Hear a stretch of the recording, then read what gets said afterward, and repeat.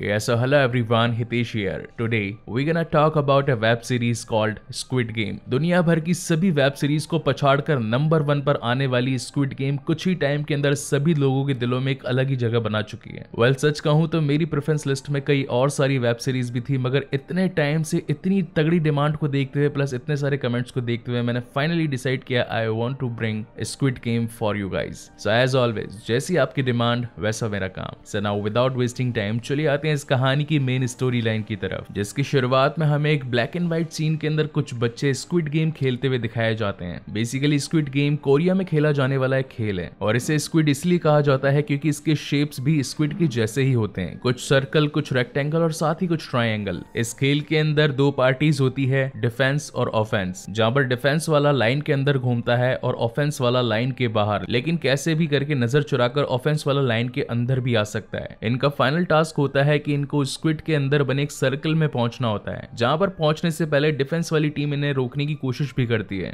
अगर ऑफेंस की टीम में से कोई भी एक लड़का अगर सर्कल में पहले पहुंच जाता है तो उनकी टीम जीत जाती है जिसके बाद में बेसिक क्राइटेरिया खत्म होने के बाद एक्चुअली स्टोरी यहाँ से स्टार्ट होती है जहाँ पर हम देख पाते हैं इस कहानी के लीड कैरेक्टर सियोंग को वेल सियोंग पहले किसी एक फैक्ट्री में काम किया करता था लेकिन वहाँ के मालिकों ने सभी वर्कर्स को हटा दिया जिसके बाद में अब सियोंग एक ड्राइवर का काम करता है जहाँ पर हमें ये पता चलता है कि वो अपनी मॉम के साथ में अपने घर में रहता है और साथ ही आज ये भी पता चलता है कि आज उसकी बेटी का बर्थडे इसलिए उसकी मॉम उसे बीस हजार वॉन देती है जवाब में सियांग कहता है कि इसमें तो सिर्फ खाना ही खिला पाऊंगा गिफ्ट के लिए भी तो पैसे चाहिए होंगे तो उसकी मॉम उसे दस हजार वॉन और देती है और ये कहकर वहां से जाने लगती है मगर तभी पीछे से सियांग आकर अपनी मॉम का क्रेडिट कार्ड चुरा लेता है और वहीं से सीधा पहुंच जाता है एटीएम जहां पर जाने के बाद वो उनके सारे पैसे निकालने की कोशिश करता है मगर वो पहले कोड भूल जाता है काफी बार कोशिश करने के बाद में उसका पास में खड़ा दोस्त कहने लगता है कि तुम्हारे पास में सिर्फ और सिर्फ लास्ट चांस है अगर तुमने कोई भी गड़बड़ करी तो कार्ड ब्लॉक हो जाएगा जिसके बाद में तुम एक भी रुपया नहीं निकाल पाओगे फाइनली सियांग अपना दिमाग लगाकर अपनी बेटी का बर्थडे बींग एटीएम कोड डालता है जिसके बाद में वो अपनी मॉम के अकाउंट से सारे पैसे निकाल लेता है और उन पैसों को जाकर जुए में लगा देता है यहाँ पर हॉर्स रेसिंग चल रही होती है हर कोई यहाँ पर पैसे जीतने के लिए आया होता है वहीं पर सियांग भी अपना दाव लगाता है मगर पहली बार में हार जाता है लेकिन फिर भी वो अगेन उस गेम को खेलने के बारे में सोचता है और इस बार उसका दाव सही लग जाता है और वो करीब पैंतालीस लाख साठ हजार वॉन जीत जाता है खुशी के मारे वो वहां पर काउंटर पर खड़ी लड़की को दस हजार वॉन भी दे देता है और कहता है कि अपने बॉयफ्रेंड के साथ जाकर कॉफी पी लेना जिसके बाद वो बाहर आकर अपनी बेटी को कॉल लगाता है और कहता है कि आज मैं तुम्हें काफी अच्छी जगह डिनर करवाने लेकर जाऊंगा और साथ ही तुम्हें तुम्हारा एक फेवरेट गिफ्ट भी दूंगा मगर तभी सियोंग को उसके पास खड़े उसके लेनदार दिखाई पड़ते हैं और उनके डर से वो वहां से भागने लगता है रास्ते में वो एक गलती से एक लड़की से टकरा भी जाता है जिसके बाद में वो आगे भागने की कोशिश करता है मगर तभी उसके लेनदार उसे पकड़ लेते हैं और उसे जोरदार धमकाने लगते हैं और उसे कहते हैं कि हमारे बाकी ये पैसे कब चुकाएगा तुझे इतना टाइम हो गया क्या तुझे पता नहीं है कि तुझे कितना पैसा चुकाना है तभी वो लोग उसे मारने लगते हैं तो सियोंग कहता है कि मेरे पास में पैसा पड़ा है रुको मैं तुम्हें देता हूँ लेकिन जब वो अपनी जेब में हाथ डालकर देखता है तो उसे पता चलता है कि उसकी जेब तो कट चुकी है और सारा पैसा वहां से गायब हो चुका है तभी उसे क्लिक होता है कि जिस वक्त वो उस लड़की से टकराया था उसी लड़की ने उसके पैसे चुरा लिए थे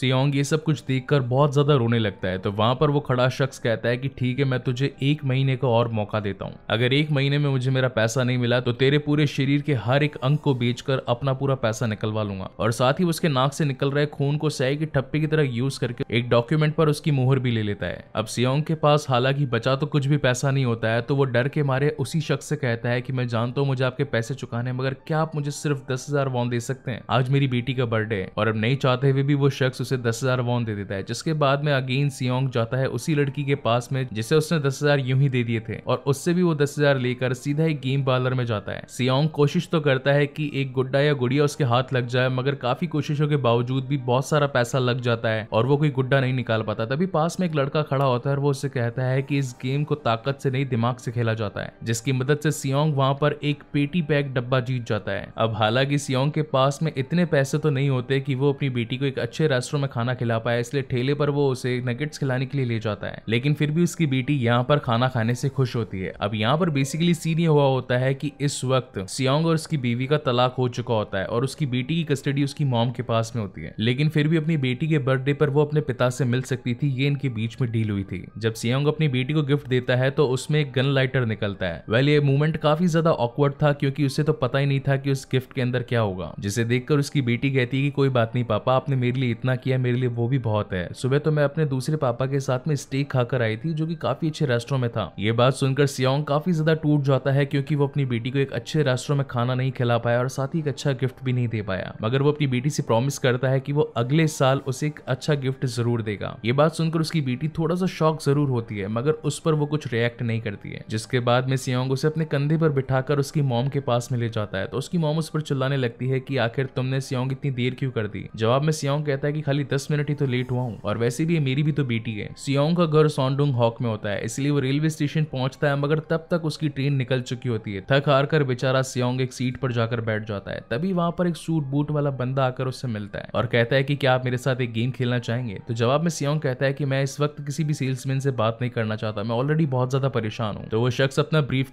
खोलता है जिसके ब्रीफ में काफी सारा पैसा पड़ा होता है और वो उसे कहता है कि सियोंग मैं तुम्हारे साथ में एक गेम खेलना चाहता हूँ जिसका नाम है ताक्षी इस गेम के अंदर रेड और ब्लू कलर के दो छोटे छोटे पॉकेट कार्ड होते हैं गेम के रूल सिंपल होते हैं कि एक कार्ड को दूसरे पर मारकर उसे पलट निपटना होता है सूट बूट वाला बंदा उससे कहता है कि गेम के रूल्स तो काफी सिंपल है अगर तुम जीते तो मैं तुम्हें एक लाख दूंगा लेकिन अगर तुम हारे तो तुम मुझे एक लाख दोगे सियोंग पहले तो कहता है कि वैसे भी आज मेरी किस्मत काफी ज्यादा खराब है लेकिन फिर भी ट्राई करने में क्या है मैं ट्राई तो कर ही सकता हूँ और जैसे ही पहली बार सियोंग ताक्षी को फेंकता है तो वो हार जाता है तो सूट बूट वाला कहता है कि लाओ मेरे एक लाख डर के मारे सियोंग काफी सहम जाता है तभी सूट बूट वाला बंदा उसे खींच के एक चमाट देता है और कहता है कि ठीक है एक लाख के बदले एक चांटा तो खा ही सकते हो जिसे सुनकर सियोंग कहता है कि बस एक चांटा और और एक लाख माफ ठीक है मैं एक बार वापस से ट्राई करना चाहता हूँ ऐसा करते करते वो करीब सोलह सत्रह बार ट्राई करता है और चांटे पे चांटे खाते जाता है मगर कई बार ट्राई करने के बावजूद भी वो उस ताक्षी को नहीं पलट पाता और फाइनली एक ऐसा मोमेंट आता है जब एक जोरदार मार के साथ में फाइनली सियांग उस ताक्षी को पलट ही देता है जिसके बदले में वो सूट बूट वाला बंदा उसे एक लाख वॉन देता है और कहता है कि अगर तुम और भी ज्यादा पैसे कमाना चाहते हो तो ये लो मेरा कार्ड मुझे रात को कॉल जरूर करना जिसके बाद वहां से सियांग निकल अपने घर पर जाने वाला होता है मगर तभी वो रास्ते में मछली खरीदने के लिए रुक जाता है उन दोनों की ही बातों से हमें पता चलता है कि उस बुढ़िया का बेटा कभी सियोंग का दोस्त हुआ करता था जो कि इस वक्त अमेरिका में एक बड़ी पोस्ट पर काम कर रहा है तो सियोंग कहता है कि हाँ हाँ मैं तो जानता हूँ स्कूल टाइम से ही आपका बेटा काफी ज्यादा होशियार था और उसकी तो जॉब अमेरिका में लगनी ही थी घर आकर सियोंग अपनी मोम के साथ में डिनर करने लगता है और साथ ही उन्हें कुछ पैसे भी देता है तो उसकी मोम कहती है कि आखिर इतना पैसा तुम्हारे पास में कहाँ से आया तो सियोंग कहता है कि ये मैंने अपने गाल अपने हाथ पूरे शरीर से कमाई करके निकाले आप ये मत सोचिए कि मैंने कोई बुरा काम किया किया है जिसके बाद में उसकी मॉम कहती है कि तुम्हारी तुम्हारी बेटी से बात हुई तो सियोंग पूछता है कैसी बात तो उसकी मॉम कहती है शायद तुम्हें पता नहीं लेकिन अगले साल वो लोग पूरी तरीके से अमेरिका में शिफ्ट होने वाले हैं और तभी सियोंग को ये बात क्लिक होती है कि जिस वक्त वो अपनी बेटी के साथ में बैठ डिनर कर रहा होता है तो उसकी बेटी ने भी थोड़ी सी नजरें झपकाई थी सियोंग की मॉम उसे कहती है कि अगर कोर्ट को ये बात पता चल जाए कि पिता की फाइनेंशियल कंडीशन अच्छी है और उसके पास में पैसा है तो वो बच्चों की कस्टडी पिता को दे सकते हैं जिस बात को सुनकर रात भर वही सारी बातें सियोंग के माइंड में घूमने लगती है वो रात को ठीक से सो भी नहीं पाता और तभी उसे उस कार्ड की याद आती है जो कि घर आते वक्त उस सूट बूट वाले बंदे ने उसे दिया था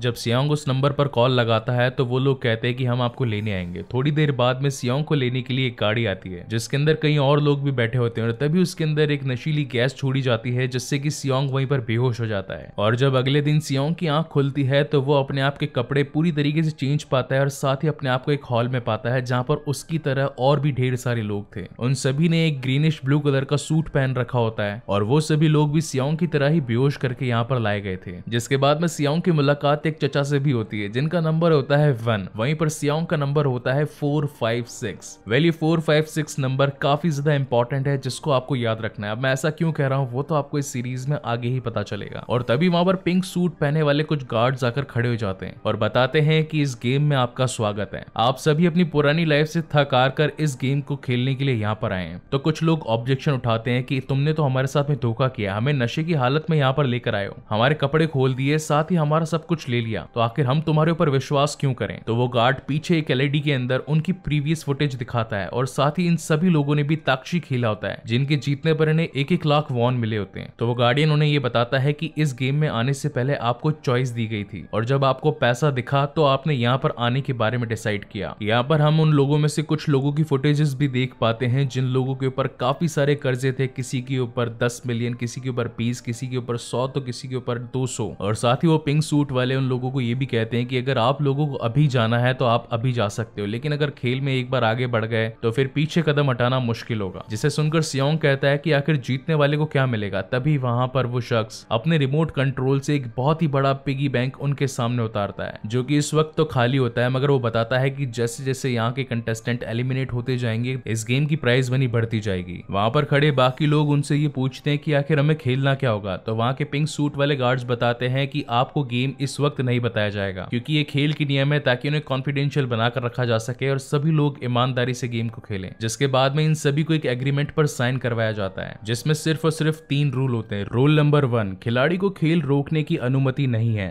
रूल नंबर टू खेल न खेलने पर खिलाड़ी को निकाल दिया जाएगा रूल नंबर थ्री यदि बहुमत की राय हो तो खेलों को समाप्त किया जा सकता है जिसके बाद में इन सभी को एक ऐसी जगह पर ले जाया जाता है जहाँ पर सबसे पहले तो इन सारे प्लेयर्स की एक फोटो क्लिक होती है वहीं पर हम इस कहानी के एक और कैरेक्टर से इंट्रोड्यूस होते हैं जिसके मास्क पर इन सभी से एक अलग मास्क लगा हुआ होता है इस शख्स का नाम होता है दी फ्रंट मैन जिसके कॉन्टेक्ट काफी बड़े बड़े लोगों से होते हैं जहाँ पर इन लोगों को बताया जाता है की आपको छह दिन छह अलग अलग खेल खिलवाए जाएंगे जिसकी शुरुआत आज पहले खेल से होगी मीन हम इन सभी लोगों को एक बड़े से प्ले में देख पाते हैं जहाँ पर ऊंची ऊंची दीवारों पर खाली पोस्टर्स लगा रखे होते हैं इनके सामने एक बड़ी सी डॉल भी रखी होती है इस गेम का रूल काफी सिंपल होता है डॉल के पीछे मुड़ने पर इन लोगों को भाग कर पांच मिनट के अंदर रेड लाइन को क्रॉस करना है और अगर डॉल ने देख लिया तो ये लोग एलिमिनेट हो जाएंगे गेम का नाम है रेड लाइट ग्रीन लाइट जिसे देखकर तो कुछ लोग उसका मजाक उड़ाने लगते हैं कहते हैं कि ये तो बच्चों का खेल है क्या हम यहाँ पर बच्चों का खेल खेलने के लिए आए लेकिन फिर भी जैसा गेम्स के रूल थे तो सभी को मानना तो था ही जिसके बाद में हर कोई अब व्हाइट लाइन की तरफ खड़ा हो जाता है जिसके बाद में इस गेम की शुरुआत होती है इन लोगों के पास में पांच मिनट की डेडलाइन होती और तभी वहां पर डॉल की नजर पीछे मुड़ती है तो वो एक गाना गाती है की रेड लाइट ग्रीन लाइट ये गेम है निराला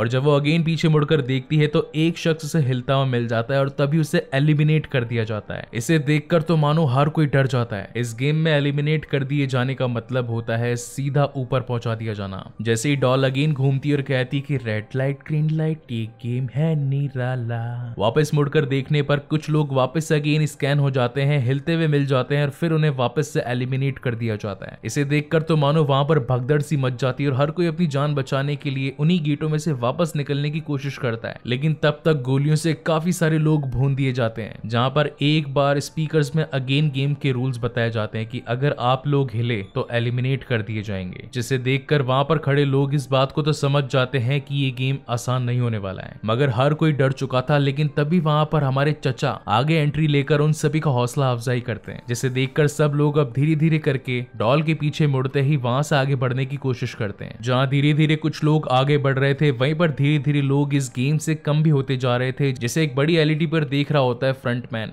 उसे देख तो मानो ये लग रहा था जैसे की उसके लिए रोज का खेल हो गेम में एक मूवमेंट ऐसा आता है जहाँ पर सियांग गिरने वाला होता है मगर तभी पीछे से उसे एक शख्स पकड़ लेता है और जैसे ही डेडलाइन खत्म होने ही वाली होती है तब तक ये लोग कैसे तैसे अपनी पूरी जान लगाकर भागकर उस रेड लाइन को क्रॉस कर ही लेते हैं जिसके बाद में हम देख पाते कहते हैं कि अब समय खत्म हो चुका है और जो भी लोग उस रेड लाइन को क्रॉस नहीं कर पाए थे उन्हें भी अब गोलियों से भून दिया जाता है जिसके बाद में हम देख पाते हैं कि ये पूरा खेल एक ऐसे प्ले पर हो रहा था जिसे की अपने एक कवर से ढका भी जा सकता है और वो किसी एक अनजान टापू पर हो रहा होता है और इसी तगड़े सस्पेंस के साथ में ये शानदार एपिसोड यहीं पर खत्म होता है सो गाइज आपको ये वीडियो कैसा लगा प्लीज मुझे लाइक और कमेंट करके जरूर बताइएगा आज हम इसके season one and episode two के बारे में बात करेंगे so now without wasting time चलिए आते हैं इसका कहानी की मेन स्टोरी लाइन की तरफ इस एपिसोड की शुरुआत इसके फर्स्ट एपिसोड की खत्म होने के जस्ट बाद के कंटिन्यूशन से ही होती है जहां पर हम देख पाते हैं कि फर्स्ट एपिसोड के अंदर जो भी गेम के दौरान कंटेस्टेंट मारे गए थे उन्हें ब्रूलिंग ओवन में डालकर बर्न किया जा रहा होता है साथ ही हम ये भी देख पाते हैं कि अगर एक बार कोई भी उस कॉफिन के अंदर चले जाता है तो वहाँ के गार्ड उसे जिंदा ना समझ मरे हुए कंटेस्टेंट में ही उसकी गिनती करते हैं जिसके बाद उस बॉक्स को भी जला दिया जाता है इसका मतलब साफ था कि अगर कोई एलिमिनेट हो भी जाता है तो चाहे भले वो जिंदा हो या मुर्दा बस उन्हें जला दिया जाता है यानी कि अब वो गेम से बाहर हो चुके हैं वहीं पर सीन शिफ्ट होता है उसी हॉल के अंदर जहां पर एक रात पहले ये सारे कंटेस्टेंट सोकर उठे थे इस वक्त सभी कंटेस्टेंट के अंदर डर का माहौल हो चुका होता है यहाँ पर हमें सियोंग का दोस्त सांगू भी दिखाया जाता है जो की उसी मॉम का बेटा होता है जिसने मछली देते वक्त सियांग को ये कहा था कि मेरा बेटा तो अमेरिका में एक बहुत ही अच्छी जॉब करता है लेकिन यहाँ पर उसे देखकर हमें पता चलता है कि उसे भी पैसों की किल्लत थी और वो भी पैसा कमाने के लिए इस गेम के अंदर आया था जहाँ पर सियांग अपनी जान बचाने बचाने के लिए सांगू और साथ ही एक और दोस्त अली जिसने उसका कॉलर पकड़ा था उन्हें थैंक यू कहता है जिसके बाद में वहां पर पिंक ड्रेस पहने वाले सारे गार्ड्स आ जाते हैं और कहते हैं कि आपको आपके फर्स्ट गेम का रिजल्ट बताया जा रहा है जहां पर हमें पता चलता है कि फर्स्ट राउंड क्लियर होने के बाद में चार में से अब सिर्फ और सिर्फ दो जने ही बचे होते हैं यानी कि करीब दो लोग उस खेल में मारे गए थे तभी इस क्रिटिकल कंडीशन में से एक लड़की निकलकर सामने आती है और कहती है कि मैंने जस्ट अभी एक छोटे बच्चे को जन्म दिया अभी तक तो मैंने उसका नाम भी नहीं रखा और आप हम से ऐसा खेल खिलवा रहे हैं न जाने मैं इस खेल को खेल पाऊंगी भी या नहीं मैं तो अभी के अभी इस गेम को छोड़कर जाना चाहती हूँ मुझे आपके कोई भी पैसे नहीं चाहिए रही बात मेरी कर्जदार जिंदगी की तो मैं धीरे धीरे करके अपने सारे कर्ज चूकता कर दूंगी उसे गिड़गिड़ाता देख वहां पर दो तीन लेडीज और उसके साथ में हो जाती है और उनसे प्रार्थना करने लगती है कि हमें यहाँ से जाने दीजिए और अब एक एक करके उन्हें देख कर काफी सारे लोग उनके साथ में हो जाते हैं और सभी हाथ जोड़ने लगते हैं कि हमें ये खेल और नहीं खेलना मानते हैं कि हमारी जिंदगी में हमारे ऊपर कर्ज काफी ज्यादा है मगर उसकी सजा ये नहीं कि हमें जान से ही मार दिया जाए जाए तो जवाब में पिंग गार्ड्स कहते हैं कि गेम का पहला रूल यही था कि खेल शुरू हो जाने के बाद में आप उस खेल को नहीं छोड़कर जा सकते तभी वहां पर सांगू बीच में आता और कहता है कि गेम का तीसरा रूल ये भी कहता है कि अगर मेजोरिटी ऑफ कंटेस्टेंट इस गेम को छोड़कर जाना चाहे तो वो जा सकते हैं जिसे सुनकर पिंग गार्ड्स कहते हैं कि हाँ यू आर राइट और अब देखते ही देखते उन सभी लोगों के बीच में वोटिंग होना स्टार्ट हो जाती है आपस में ये सभी लोग बातें कर ही रहे थे कि क्या हमें ये गेम को खेलना चाहिए या नहीं मगर तभी पिंग गार्ड कहते हैं कि एक बार अपने इनाम की राशि तो देख लीजिए जहाँ पर ढेर सारे सारा पैसा आकर उस पिगी बैंक में गिरना शुरू हो जाता है उसे देख तो मानो हर किसी कंटेस्टेंट की आंखें चमक जाती है इतना सारा पैसा देख अब हर कोई ये सोचने लगता है की क्या उन्हें ये गेम वापस कंटिन्यू करना चाहिए या फिर अपनी जान को बचा यहाँ से निकल जाना चाहिए सभी के अंदर एक असमंजस की स्थिति क्रिएट हो जाती है कि आखिर जाए तो कहाँ जाए अगर वापस गए तो वही नर्क की जिंदगी जीनी पड़ेगी लेकिन अगर यहाँ पर भी रहे तो किसी न किसी खेल में तो उनका खात्मा होना तय ही है जिसके बाद में पिंग गार्ड उन सभी कंटेस्टेंट के बीच में एक सफेद लाइन खींच देते हैं और कहते हैं कि आपको एक एक करके आकर अपना वोट देना पड़ेगा अगर आप गेम में आगे जाना चाहते हैं तो ग्रीन लाइट दबाइए और अगर यहीं पर गेम को खत्म करके वापस अपने घर जाना चाहते हैं तो रेड लाइट दबाइए लेकिन यहाँ पर ट्विस्ट यह है कि अगर आप इस गेम को छोड़कर जाना चाहेंगे तो अभी तक इस पूरे पिगी बैंक के अंदर करीब 25 बिलियन से ऊपर का अमाउंट जमा हो चुका है यानी कि अगर मरे हुए लोगों में से अगर 100 सौ मिलियन भी बांटे जाएं तो ये अमाउंट पूरा खत्म हो जाएगा अगर आप यहाँ से जाएंगे तो आपको कुछ भी नहीं मिलेगा और ये पूरा 25 बिलियन मरे हुए लोगों को 100 सौ मिलियन करके हर एक के घर में बांट काट दिया जाएगा तो यहाँ पर कुछ लोग सोचते हैं कि हमने इतनी मेहनत करी आखिर हम जीते तो हमें ये पैसा क्यों नहीं मिल रहा ये पैसा तो हमें मिलना चाहिए और अब एक एक करके हर कोई आगे आकर अपना वोट देने लगता है कुछ लोग आकर ग्रीन लाइट दबाते हैं तो कुछ लोग आकर रेड लाइट दबाते हैं ग्रीन लाइट वाले ये सोच कर दबा रहे होते हैं कि अगर वो इस खेल में आगे बढ़े तो उनके पास में जीतने का चांस है और ये इतनी भारी रकम जीत कर वो अपने सारे कर्ज चुकाकर एक आराम की जिंदगी जी पाएंगे वहीं पर रेड लाइट वो लोग दबा रहे थे जिन्हें की अब इस खेल में आगे नहीं बढ़ना था ऐसे करते करते करीब 200 जने अपने वोट दे चुके होते हैं और लास्ट में बारी आती है नंबर वन की यानी कि हमारे चचा की इस वक्त दोनों ही दलों में सौ सौ लोग हो चुके होते हैं यानी कि अभी तक मामला फिफ्टी फिफ्टी परसेंट हो चुका होता है रेड लाइट वाले भी पचास परसेंट और ग्रीन लाइट वाले भी पचास परसेंट आखिरी चुनाव अंकल को करना था कि वो इस खेल को खेलना चाहते हैं या नहीं और फाइनली वो भी यही डिसाइड करते हैं कि वो इस खेल को नहीं खेलना चाहते हैं जिसके बाद में गेम्स के रूल के अकॉर्डिंग ये बात तय होती है कि मेजोरिटी इस गेम को छोड़कर जाना चाहती है तो उन्हें वापस से सही सलाम बरामद गाड़ियों में छोड़कर उनके घरों के पास ले जाया जाता है यहाँ पर हम सियोंग और उसी जेब कतरी लड़की को देख पाते हैं जिसका नाम होता है सिबियोक ये दोनों आपस में एक दूसरे की मदद करते हैं अपने हाथ पैर खोलने में तो पहले सिबियोक आजाद होकर खुद ब खुद ही जाने लगती है तो सियोंग कहता है की मेरे हाथ तो खोलो तो सिबियोक कहती है की अगर मैंने तुम्हारे हाथ खोले तो तुम मुझसे अगेन तुम्हारे पैसे मांगोगी जो की अभी मेरे पास में नहीं है लेकिन अब क्योंकि सियोंग की हालत बंधे हुए काफी ज्यादा खराब हो चुकी थी और ठंड भी काफी ज्यादा थी तो वहां पर सियोंग कहता है कि ठीक है मैं पैसा नहीं मांगूंगा तो मुझे कम से कम यहाँ से आजाद तो कर दो जिसे सुनकर कर फाइनली सीबीओ उसे आजाद कर देती है वहीं पर सीन शिफ्ट होता है सांगू और अली पर अली उससे कहता है कि मुझे कॉल करने के लिए आपका फोन मिलेगा दो मिनट के लिए तो सांगू भी उससे मना नहीं करता और उसे अपना फोन दे देता है जिसके बाद में ये दोनों लोग नूडल्स खाकर वहां से जाने के बारे में सोचते हैं तो सांगू उससे कहता है कि तुम्हारे पास में फोन करने तक के पैसे नहीं थे और तुम्हारा घर तो यहाँ से काफी दूर है तो तुम जाओगे कैसे लो ये दस हजार वॉन रख लो जिसे देखकर अली काफी ज्यादा खुश हो जाता है और कहता है कि सर मैं आपका एहसान कभी नहीं भूल सकता आपने मुझे खाना खिलाया मुझे घर पर बात करने के लिए आपका फोन दिया और घर जाने के लिए बस उसका किराया भी दिया मगर जिस दिन मेरे पास पैसा आ जाएगा मैं आपके पैसे आपको वापस पहुंचा दूंगा सर तो सांगू कहता है कि नहीं इसकी कोई जरूरत नहीं तुम बस ठीक से अपने घर पहुंच जाओ अगले दिन सियोंग सबसे पहले पुलिस स्टेशन जाकर उन लोगों को कल के हुए हादसे के बारे में बताने लगता है और कहता है की कुछ लोग जो की हमारे साथ मौत का खेल खेल रहे थे मैं चाहता हूँ की आप मेरी कंप्लेंट दर्ज करें तो पुलिस वाला पूछता है की आखिर तुम वहाँ पर गए क्यों थे तो सियोंग कहता है की उन्होंने मुझे पैसों का लालच दिया था तो पुलिस वाले कहते हैं कि पहले तुम्हें पैसों का लालच दिया तुम चले भी गए फिर तुमने मना किया खेलने से तो तुम वापस भी आ गए तुमने हमें क्या पागल समझ के रखा है तो सियोंग कहता है कि मेरे पास उनका कार्ड भी है इस पर फोन लगाकर देख लो तुम्हें सारी सच्चाई पता लग जाएगी जब पुलिस वाला उस नंबर पर कॉल लगाता है तो तब तक उन लोगों ने इस नंबर को ही चेंज कर दिया होता है और ये नंबर अब इस वक्त किसी लेडी के पास में अलॉट हो चुका होता है जो की पुलिस वाले को खूब सारी गालियां देती है और कहती है की सेल्स कॉल अगली बार मत करना जिससे ये बात तो क्लियर हो जाती है पुलिस वालों को की सियोंग को यूं ही फालतू की कहानी बना रहा है और उसे यूं ही पागल समझ पुलिस वाले उसे पुलिस स्टेशन से बाहर भेज देते हैं मगर तभी वहां पर एक पुलिस वाले की एंट्री होती है जो की ये सारा हादसा अपनी आंखों उसे देख तो रहा था मगर उस मोमेंट पर वो कुछ कहता नहीं है जब सियोंग थका मारा वापस अपने घर पर आता है तो उसे सांगू मिलता है और वो कहता है कि सांगू तुम तो यहाँ से अमेरिका गए थे तुम तो पढ़ने में काफी होशियार थे तुमने तो सबसे अच्छी यूनिवर्सिटी के अंदर भी दाखिला लिया था आखिर तुम्हारे पास में पैसों की किल्लत कैसे आ गई तो सांगू बताता है कि उसके ऊपर टोटल छह बिलियन का कर्ज है और अगर उसने वो नहीं चुकाया तो पुलिस वाले उसे किसी भी वक्त ढूंढ कर जेल में कैद कर देंगे तभी सियोंग को हॉस्पिटल से कॉल आता है और जब वो हॉस्पिटल पहुंचता है तो उसे पता चलता है कि उसकी मॉम का पैर पूरी तरीके से खराब हो चुका है है और उसके इलाज के लिए अब सियोंग को काफी बड़ी रकम चुकानी पड़ेगी जिसके बाद में सीन शिफ्ट होता है उसी पुलिस वाले पर जो की हमने लास्ट सीन में उस पुलिस स्टेशन में देखा था इस शख्स का नाम होता है होंग बेसिकली कुछ टाइम से होंग का भाई भी गायब होता है उसकी ना ही कोई खबर होती है और ना ही कोई पता होता है जब वो उसके पुराने एड्रेस पर जाकर पता करता है तो वहाँ की लैंडलॉर्ड बताती है कि आपके भाई ने काफी टाइम से यहाँ पर आना जाना बंद कर दिया है और साथ ही पिछले महीने का किराया भी नहीं दिया है तो होंग कहता है कि क्या मैं उसके रूम में जाकर थोड़ी बहुत चेकिंग कर सकता हूँ तो लैंडलॉर्ड कहती है कि ठीक है आप जा सकते सकते हैं जहाँ पर उस रूम की तहकीकात करने के बाद में हॉन्ग को वही कार्ड मिलता है जैसा कार्ड उसने सुबह पुलिस स्टेशन के अंदर सियोंग के हाथ में देखा था वहीं पर अगले सीन में हम सिबियोक को देख पाते हैं जो की एक अनाथालय यानी कि एक ऑर्फनेज में आकर अपने एक छोटे से भाई से मिलती है सिबियोक अपने छोटे भाई को अनाथ आश्रम में इसलिए रखती थी क्योंकि उसके माता पिता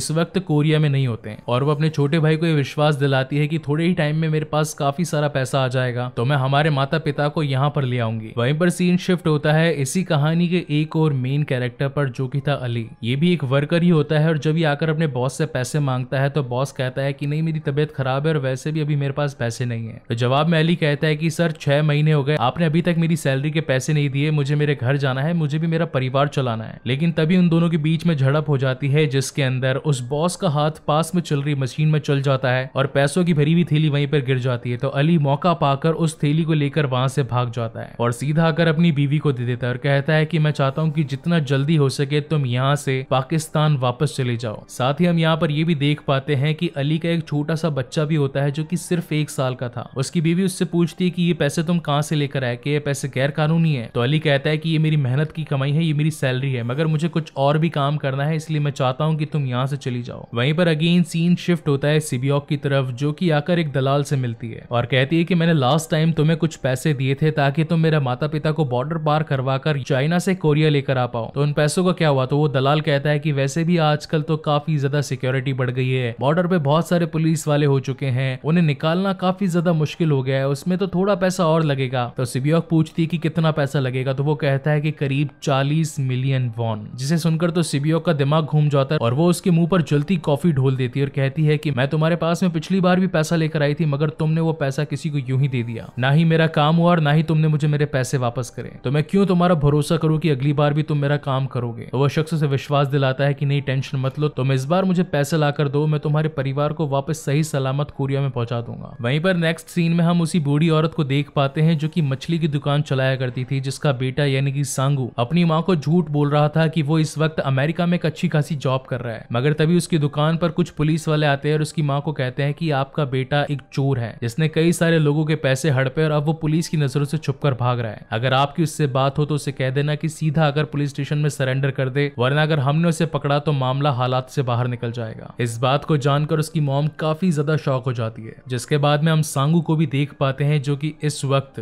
अपने सूट बूट में बाट टब के अंदर बैठकर बियर पी रहा होता है और इस बात को सोच रहा होता है की आखिर वो इतना सारा पैसा कहाँ से लेकर आएगा क्या वो वापस से उस गेम में जाना चाहता है या फिर वो खुदकुशी कर लेगा मगर तभी सांगू की डोर पर कोई उसकी बैल बजाने लगता है और जब सांगू वहां पर जाता है तो, तो अगेन कोई अनजाना शख्स वही कार्ड उसे पकड़ा कर चला जाता है और उस पर एक पता लिखा होता है जिसके बाद में सीन शिफ्ट होता है हमारे लीड कैरेक्टर या फिर कह सकते हैं सियोंग पर जो कि एक बार के बाहर बैठकर थोड़ी सी ड्रिंक कर रहा होता है और तभी वहां पर चचा की एंट्री होती है तो सियोंग उन्हें देखकर काफी खुश होता है कहता है कि चचा आप तो वही थे जो गेम में थे तो वो अंकल कहते हैं कि हाँ मैं वही हूँ और मैं सोच रहा हूँ कि शायद मुझे इस गेम में फिर से चले जाना चाहिए क्योंकि वैसे भी मुझे तो ब्रेन ट्यूमर है मेरे पास में वैसे भी जिंदगी के जीने के दिन काफी कम बचे हैं तो क्यों ना अगर मेहनत से लड़कर अगर मैं कुछ पैसा जीत पाऊँ तो वो मेरे परिवार के काम ही तो आएगा मेरा बेटा भी बिल्कुल तुम्हारे ही की तरह था वहीं पर अब सियोंग भी ये बात सोच रहा होता है कि उसे अपनी मॉम के इलाज के लिए पैसे चाहिए जिसके बाद में सीन शिफ्ट होता है उसी गुंडे जैंग पर जिसने की बेमानी से इस खेल को जीतने की कोशिश करी थी यहाँ पर हम देख पाते हैं कि वो माफिया और अंडरवर्ल्ड से जुड़ा एक शख्स होता है इसने इस वक्त इसके बॉस के साथ में गद्दारी करी थी वहीं पर अपने चेले चपाटों को भी नहीं छोड़ा था उनकी जेब भी हर वक्त ये खाली करता रहता था तभी उनमें से एक चेला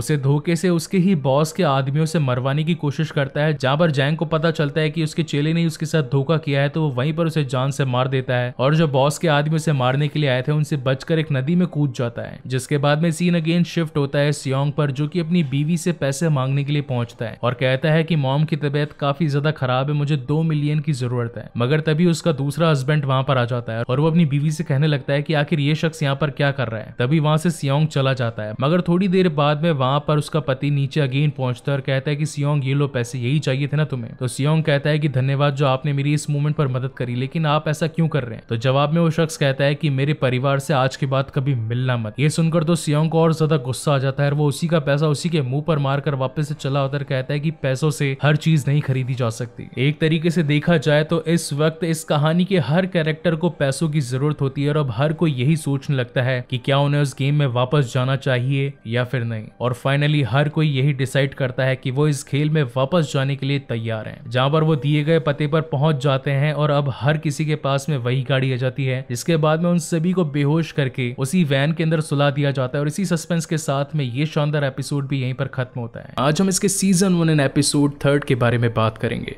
इसकी कहानी इसके सेकेंड एपिसोड के खत्म होने के जस्ट बाद के कंटिन्यूशन से ही स्टार्ट होती है जहां पर लास्ट एपिसोड में हमने देखा कि किस तरीके से बड़ी बड़ी गाड़ियां उठाकर सभी कंटेस्टेंट को अपने साथ में ले जाती है और इसी के साथ इस एपिसोड की कहानी की शुरुआत होती है जहां पर हम देख पाते हैं कि उनकी गाड़ियों का पीछा करते वक्त वो पुलिस पुलिस वाला जून अब इन्हें फॉलो करता करता उस जगह तक जा पहुंचता है जहां पर ये सारी गाड़ियां एक पोर्ट पर पहुंचती है और तभी हम देखते हैं कि उस पोर्ट के पास एक जहाज भी रेडी खड़ा होता है जिसके अंदर ये सारी गाड़ियां एक के बाद एक एंटर कर जाती है जहां पर जूनहू भी मौका पाकर अपनी गाड़ी से निकलकर छिपते छिपाते एक गाड़ी के नीचे जाकर छिप जाता है और वो गाड़ी भी अब उस जहाज में पहुंच चुकी होती है जिसके बाद में हम देख पाते हैं कि यहाँ पर अब ड्राइवर्स की शिफ्ट खत्म हो चुकी होती है और अब सारे के सारे ड्राइवर्स जिन्होंने पिंक सूट पहन रखा होता है है वो वहां से बाहर निकलकर अब दूसरे जिनकी शिफ्ट होती है वो गार्ड्स नीचे आकर सभी कंटेस्टेंट को चेक करने लगते हैं तभी हम देखते हैं कि मौका पाकर जून उसी गाड़ी में बैठ जाता है और जब एक पिंक गार्ड वहां पर आकर कंटेस्टेंट के कानों पर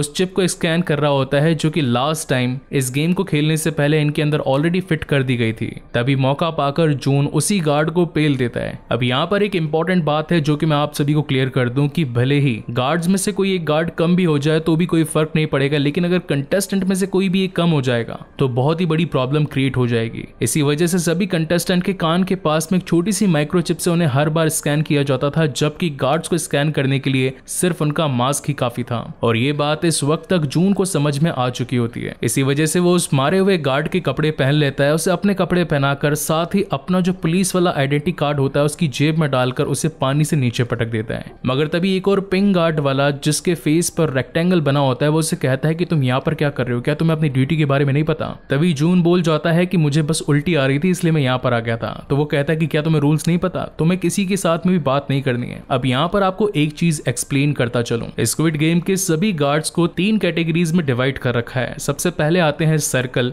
उसके बाद में ऊंचे दर्जे वाले यानी कि ट्रायंगल उसके बाद में उसके भी ऊपर दर्जे वाले यानी कि रेक्टेंगल सर्कल वाले गार्ड्स का काम ये होता है कि सभी प्लेयर्स के कपड़े चेंज करना खाना पीना पकाना नॉर्मल छोटे मोटे काम करना और जो मर जाते हैं हैं उन्हें कॉफिन में डालकर जला देना वहीं पर ट्रायंगल वाले गार्ड्स का काम होता है उन सभी की पहरेदारी करना बींग ए सिक्योरिटी गार्ड क्योंकि उनके हाथों में बंदूक भी होती है वहीं पर उसके ऊपर आते हैं रेक्टेंगल यानी कि चौकड़ी देखा जाए तो ये स्टाफ के लीडर होते हैं और एक रेक्टेंगल एक बार में एक पूरी टीम को हैंडल करता है और ऐसी यहाँ पर करीब पचास से ज्यादा टीम्स बनी हुई है जिसके बाद में हम देख पाते हैं कि सारे कंटेस्टेंट्स को अंदर शिप में ले जाया जाता है कपड़े चेंज होते हैं उन्हें वापस से वही ग्रीन कलर का सूट मिलता है इस वक्त हम ये भी देख पाते हैं कि जब ये लोग कपड़े कपड़े चेंज कर रहे होते हैं सिबियॉक के तो उस वक्त उसे थोड़ा सा होश आ जाता है और जब पिंग गार्ड उसके जेब से उसका चाकू निकाल कर रख रहे होते हैं लेकिन तभी सिबियॉक चुपके से अपना चाकू वापस से अपनी जेब में रख लेती है और जब नेक्स्ट डे इन सभी को होश आता है तो ये सब अपनी आंखें खोलकर अपने आप को उसी जगह पर पाते हैं जहां पर ये लास्ट टाइम इस गेम को खेलने के लिए पहुंचे थे यहाँ पर सियोंग की मुलाकात चचा से भी होती है उसे तो अब तक ये लग रहा था कि शायद तक चचा ऊपर पहुंच गए होंगे लेकिन चचा तो माहिर वो कहाँ पर इतनी जल्दी ऊपर पहुंचने वाले थे हालांकि ये दोनों ही आपस में एक दूसरे को देखकर काफी खुश थे क्योंकि गेम को खेलने से एक रात पहले ये दोनों मिले भी तो थे वहीं पर सियांग को अपना बेस्ट फ्रेंड सांगू भी मिलता है उसे नहीं लग रहा था कि सांगू भी इस वक्त वापस से अगेन इस गेम में पार्टिसिपेट करेगा वहीं उन्हें देखकर अली भी पहुंच जाता है तो सियांग कहता है कि क्यों ना हम अपनी एक टीम बना लें क्योंकि मुझे ऐसा लगता है कि जब हम एक अच्छी टीम बन जाएंगे तो आगे आने वाले गेम्स को हम काफी अच्छे तरीके से पार कर पाएंगे तुम्हें याद है सांगू किस तरीके से लास्ट गेम में जब मैं गिरने वाला था तो मुझे अली ने अपने हाथों से पकड़ लिया था क्या मजबूत पकड़ है इसकी इसे तो हमारी टीम में होना ही चाहिए और हमारी टीम की लीडर तुम क्योंकि तुम जिस जैसा तेज प्लेयर तो हमारे पूरे मोहल्ले में भी कभी नहीं था सांगू वहीं पर हम इस पूरे एपिसोड के मेन गुंडे या फिर कह सकते हैं लफंगे को भी देख पाते हैं जिसका नाम होता है जैंग वो आकर सिबियोक को कहता है ए जेब कतरी तू चाहे तो मेरी टीम में आ सकती है लेकिन यहाँ पर सिबियोक जानती थी कि जैंग किसी भी वक्त उसे धोखा दे सकता है वेल आपको इनके पिछले पास से रिलेटेड एक बात बता देता हूँ ये दोनों कभी एक साथ काम किया करते थे और जैंग ने ही सिबियोक को चोरी करना सिखाया था हालांकि रात गई बात गई और इस वक्त सिबियोक उसकी टीम में ज्वाइन होने से उसे मना कर देती है तभी वहां पर इस कहानी में एक और कैरेक्टर की एंट्री होती है जिसका नाम होता है हान वो जैंग को कहती है कि मैं तुम्हारे लिए सब कुछ कर सकती हूँ जो भी तुम चाहो सब कुछ इस बात को सुनकर हालांकि जैंग खुश तो होता है वो पहले तो सोचता है कि उसे नहीं लेगा लेकिन फाइनली वो हान को भी अपनी टीम में शामिल कर लेता है जहां अब एक और तो ये सारे लोग बैठकर अपना डिनर एंजॉय कर रहे थे वहीं पर अब शिफ्ट चेंज हो जाने की वजह से जून भी अपने रूम में पहुंच जाता है जहां पर काफी सारे इंस्ट्रक्शन थे जिनमें ये लिखा था कि आपको कैमरे की तरफ मुंह करके खाना नहीं खाना है इसका मतलब ये था कि पूरे गेम की कॉन्फिडेंशियलिटी कहीं खत्म ना हो जाए और कहीं सबके फेसेस रिवील ना हो जाए इसलिए हर किसी को अपना फेस छुपाने के लिए इंस्ट्रक्शन दिए हुए होते हैं मगर रात को सोते वक्त उसके पास के कमरे वाले खांसने लगते हैं अब जून होता तो हालांकि एक पुलिस वाला है तो उसे समझ में आ जाता है कि ये तो मोर्स कोड है मोर्स कोड हम किसी की भी टकटकाहट घड़ी की सुई खांसने या फिर चम्मच के टमटमाने से बिल्कुल पता कर सकते हैं कि आखिर ये मैसेज कैसे क्यों और क्या भेजा जा रहा है जिसमें जून को ये पता लगता है कि अभी नंबर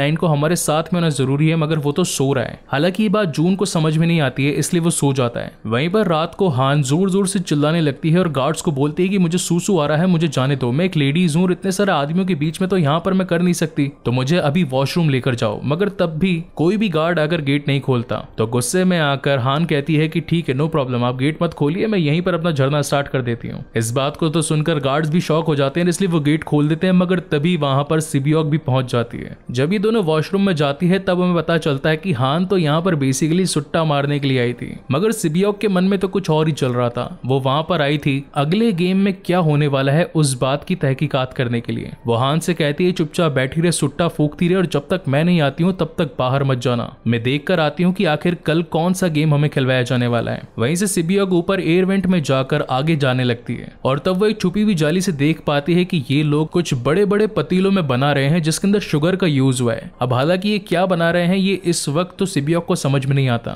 और वो चुपचाप जिस रास्ते से आई थी वापस से वहीं से निकल जाती है और ये दोनों वापस से अपने उसी हॉल में आ जाते हैं जहाँ पर सारे प्लेयर्स सो रहे होते हैं जिसके बाद में सीन शिफ्ट होता है नेक्स्ट डे मॉर्निंग जहां पर हम देख पाते हैं कि अब सभी गार्ड्स अपने रूम से निकलकर बाहर आ चुके होते हैं और अपनी ड्यूटी के लिए तैयार होते हैं वहीं पर अब इस वक्त सारे के सारे प्लेयर्स भी रेडी हो चुके होते हैं अपना नेक्स्ट गेम खेलने के लिए सबसे पहले तो इन्हें सुबह सुबह ब्रेकफास्ट कराया जाता है और वहीं पर हम देखते हैं कि एक शख्स को एक ब्रेड के अंदर एक छोटा सा क्लू मिल जाता है कि नेक्स्ट गेम क्या होने वाला है वेल well, हालांकि गेम के रूल्स ये है कि इसकी कॉन्फिडेंशियलिटी को बनाए रखने के लिए किसी को भी कुछ भी पता नहीं होता है कि नेक्स्ट गेम क्या क्या होने वाला है मगर इस शख्स जो की एक डॉक्टर है इसे नेक्स्ट गेम के बारे में क्यों बताया गया वो मैं आपको आगे एक्सप्लेन करूंगा इसी बीच हम देख पाते हैं कि सांगू आकर सिबियोक से पूछता है कि कल रात को तुम कहाँ गई थी क्योंकि मैंने तुम्हें बातें करते हुए सुना था कि तुम्हें नेक्स्ट गेम के बारे में पता चल चुका है मुझे बताओ कि तुमने क्या देखा तो सिबियोक कहती है कि वो लोग कुछ बना रहे थे अब वो क्या बना रहे थे मुझे इसके बारे में नहीं पता बस सिर्फ ये पता है कि उसके अंदर शक्कर का यूज हुआ है जिसके बाद में सारे कंटेस्टेंट को एक बड़े से प्लेग्राउंड में लेकर आया जाता है उस प्लेग्राउंड के अंदर खेलने के काफी काफी सारे झूले भी बने हुए थे उन्हें देखकर धीरे धीरे सियांग को यह पता लगने लगता है की नेक्स्ट गेम क्या होने वाला है जहाँ पर हम एक फ्लैश सीन भी देख पाते हैं जब बचपन में सांगू अपने झूलों पर खेलता था तो वहीं पर एक चिक्की बनाने वाला शक्कर और मूंगफली की चिक्की बनाकर उन्हें देता था जिसके अंदर एक शेप होता था और उन्हें वो शेप तोड़कर खाना होता था और तभी वो अपने सामने चार अलग अलग शेप्स भी देखता है जिनमें थे सर्कल ट्रायंगल स्टार और अम्ब्रेला इन्हें देखकर तो फाइनली सांगू को ये क्लियर तो हो ही जाता है कि नेक्स्ट गेम हमें यही करना है है यानी कि उन शेप्स को बाहर निकालना तो वह सबसे इजी शेप चुन लेता है जो कि होता है ट्रायंगल तो सियोंग उससे पूछता है कि सांगू तुम तो काफी होशियार हो आखिर नेक्स्ट गेम क्या होने वाला है अगर तुमने यहाँ पर ट्रायंगल चुना है तो क्या हमें भी यही चुनना है हालांकि यहाँ पर सांगू उसकी मदद तो करना चाहता था लेकिन उसके मन में लालच भी था इसलिए वो कह देता है कि अगर हमने एक ही सारी चीज चुन ली और क्या पता वो खतरे से खाली नहीं हुई तो हम सारे के सारे मारे जाएंगे क्यों ना हम सब अलग अलग चूज कर लें जहां पर अली सर्कल को चूज करता है और चचा स्टार को वहीं पर सियोंग सबसे मुश्किल मुश्किल यानी कि अम्ब्रेला को चूज करता है इसके बाद में इन सभी की लाइन लगती है और इन सभी को अपने शेप्स के सामने खड़ा होने के लिए कह दिया जाता है और फिर एक एक करके इन सभी को बारी बारी से छोटे छोटे बॉक्सेस दिए जाते हैं अब इन सभी के पास में सिर्फ दस मिनट होते हैं उस शेप को सुई की मदद से बाहर निकालने के लिए अगर किसी ने भी अपने टाइम के अंदर इस शेप को बाहर नहीं निकाला तो उसे वो पिंक गार्ड्स मार देंगे और अगर वो शेप टूटा भी तब भी पिंक गार्ड उन्हें जान से मार देंगे जिसके बाद में अब हर कोई अपनी कोशिश में लग जाता है सभी लोग उस सुई से अपने शेप को बाहर निकालने की कोशिश करते हैं अब जैसा कि ट्रायंगल सबसे ज्यादा इजी था तो सबसे पहले कामयाब हो जाता है सांगो मगर वहीं दूसरी ओर जिन लोगों के शेप टूटने लगते हैं तो वहां पर पिंक गार्ड आकर उन्हें जान से मार डालते हैं इस खून खराबे को देखते हुए तो अब हर कोई अपनी जी जान से कोशिश करना स्टार्ट कर देता है और अपने शेप को पूरे दिल से निकालने की कोशिश भी करता है इस वक्त सभी के अंदर डर का माहौल हो चुका था सियोंग को तो अपना काम करते करते पसीने तक आने लगते हैं और तभी उसके पसीने की कुछ बूंदे आकर उस शक्कर की चिक्की खिड़की पर टपक जाती है और उसे पता चलता है कि लिक्विड के गिरने से ये थोड़ी थोड़ी पिघल रही है तो क्यों ना इसे चाट कर पिघला कर फिर ठीक से निकाला जाए और अब देखते ही देखते बच्चों वाली बेवकूफी की हरकत सियांग करके अपने उस शेप को बाहर निकालने की कोशिश करता है जिसे वहां पर मौजूद सभी लोग देखने लगते हैं और इस वक्त तक समय भी काफी निकल चुका होता है यहाँ पर चचा को भी ये ट्रिक समझ में आ चुकी होती है और वो भी कैसे तैसे करके चाट चाट के फाइनली अपने स्टार को बाहर निकाल लेते हैं इस वक्त तक सिबियोग भी कामयाब हो जाती है और हान जिसके पास में एक लाइटर होता है वो अपनी सुई को गर्म कर करके अपने उस शेप को बाहर निकाल लेती है और जाने से पहले वो लाइटर जैंग को दे देती है जिसकी मदद से जैंग भी अपनी सुई को गर्म कर करके उस शक्कर की चिक्की में से अपने शेप को बाहर निकाल लेता है वहीं पर आखिरी में हम देख पाते हैं कि सियोंग इस वक्त भी अपने उस शेप को बाहर निकालने के लिए कड़ी मेहनत कर रहा होता है क्योंकि उसी के पास में ही सबसे डिफिकल्ट शेप था जो की था अम्ब्रेला बट फाइनली काफी कोशिशों के बाद में सियोंग भी कामयाब हो जाता है और अपने शेप को बाहर निकाल कर गार्ड को दिखाकर वहां से निकल जाता जाता है यानी कि उसका ये टास्क कंप्लीट हो चुका था अब इस वक्त यहाँ पर गेम के 10 मिनट भी खत्म हो जाते हैं और जो भी लोग अपने इस टास्क को कंप्लीट नहीं कर पाए थे पिंक सूट वाले आकर सभी को गोली मार देते हैं तभी वहां पर एक शख्स हिम्मत करके पिंक गार्ड में से एक की बंदूक ले लेता है और कहता है कि अगर मुझ तक आगे बढ़े तो मैं तुम्हें जान से मार दूंगा तो वहां पर एक रेक्टेंगल शेप वाला गार्ड आकर उसे कहता है कि तुम गोली नहीं चला सकते तो वो आदमी कहता है कि मुझे अपनी शक्ल दिखाओ और जब वो लड़का अपनी शक्ल हटाता है तो हमें पता चलता है कि उसकी उम्र तो 18 से भी कम है वो तो एक लड़का है इस वजह से वो शख्स खुद ही अपने आप को गोली मार लेता है मगर तभी पीछे से आ जाता है फ्रंट मैन और वो अपनी बंदूक से उस लड़के को शूट कर देता है क्योंकि फ्रंट मैन और साथ ही स्क्विड गेम का ये रूल था कि कोई भी गार्ड अपना फेस रिवील नहीं करेगा चाहे कुछ भी हो जाए जहाँ पर इस वक्त जून की नजर उस गार्ड पर पड़ चुकी होती है और वह अब उसके मास्क को उठाकर देख रहा होता है और इसी सस्पेंस के साथ में ये शानदार एपिसोड यहीं पर खत्म होता है आज हम इसके season one and fourth episode के बारे में बात करेंगे जिसकी शुरुआत इसके लास्ट एपिसोड के कंटिन्यूशन से ही होती है जहाँ पर हम देख पाते हैं हैं कि कुछ पिंक गार्ड्स उसी डॉक्टर को लोगों की नजरों से छिपते छिपाते कई सारे दरवाजों में से एक लोकेशन पर लेकर जा रहे होते हैं इसका मतलब साफ था कि जिस तरीके से उसे हर बार गेम से पहले ही क्लूज मिल जाया करते थे ये लोग वही थे जिसके बदले में डॉक्टर उनका कोई पर्सनल काम किया करता था वो पर्सनल काम क्या करता था वो मैं आपको इस वीडियो में आगे बताऊंगा वहीं पर सीन शिफ्ट होता है बाकी सभी प्लेयर्स पर जहां पर हम देख पाते हैं सियोंग को अपने सभी दोस्तों के साथ में क्योंकि अब उन्होंने अपनी खुद की भी एक टीम बना ली होती है वेल हालांकि इस वक्त तक सियोंग काफी ज्यादा डर चुका था क्योंकि उसने समय के खत्म होते के साथ ही अपने टास्क को पूरा किया था अगर वो समय पर अपना टास्क पूरा नहीं कर पाता तो वहां पर पिंक गार्ड जाकर उसे जान से मार डालते वहीं पर सांगू भी खड़ा था और वो उसे सॉरी भी कहता है क्योंकि सांगू को तो पता चल ही चुका था कि ये पूरा गेम उन शुगर पीसेज में से उस डिजाइन को निकालना था जो कि कुछ में इजी और कुछ में डिफिकल्ट था मगर सियोंग कहता है कि नहीं दोस्त ऐसी कोई बात नहीं वहीं पर चचा भी सियोंग का काफी ज्यादा शुक्रिया अदा करते और कहते हैं कि तुम्हारी चाटने वाली टेक्निक मेरे काम आई उसी की वजह से मैं बच पाया वरना आज मैं भी ऊपर पहुंच जाता जिसके बाद में अब सभी प्लेयर्स अपने प्लेस यानी कि अपने सोने वाली जगह पर पहुंच चुके होते हैं वहीं पर हम देख पाते हैं कि उस पिगी बैंक का जो अमाउंट था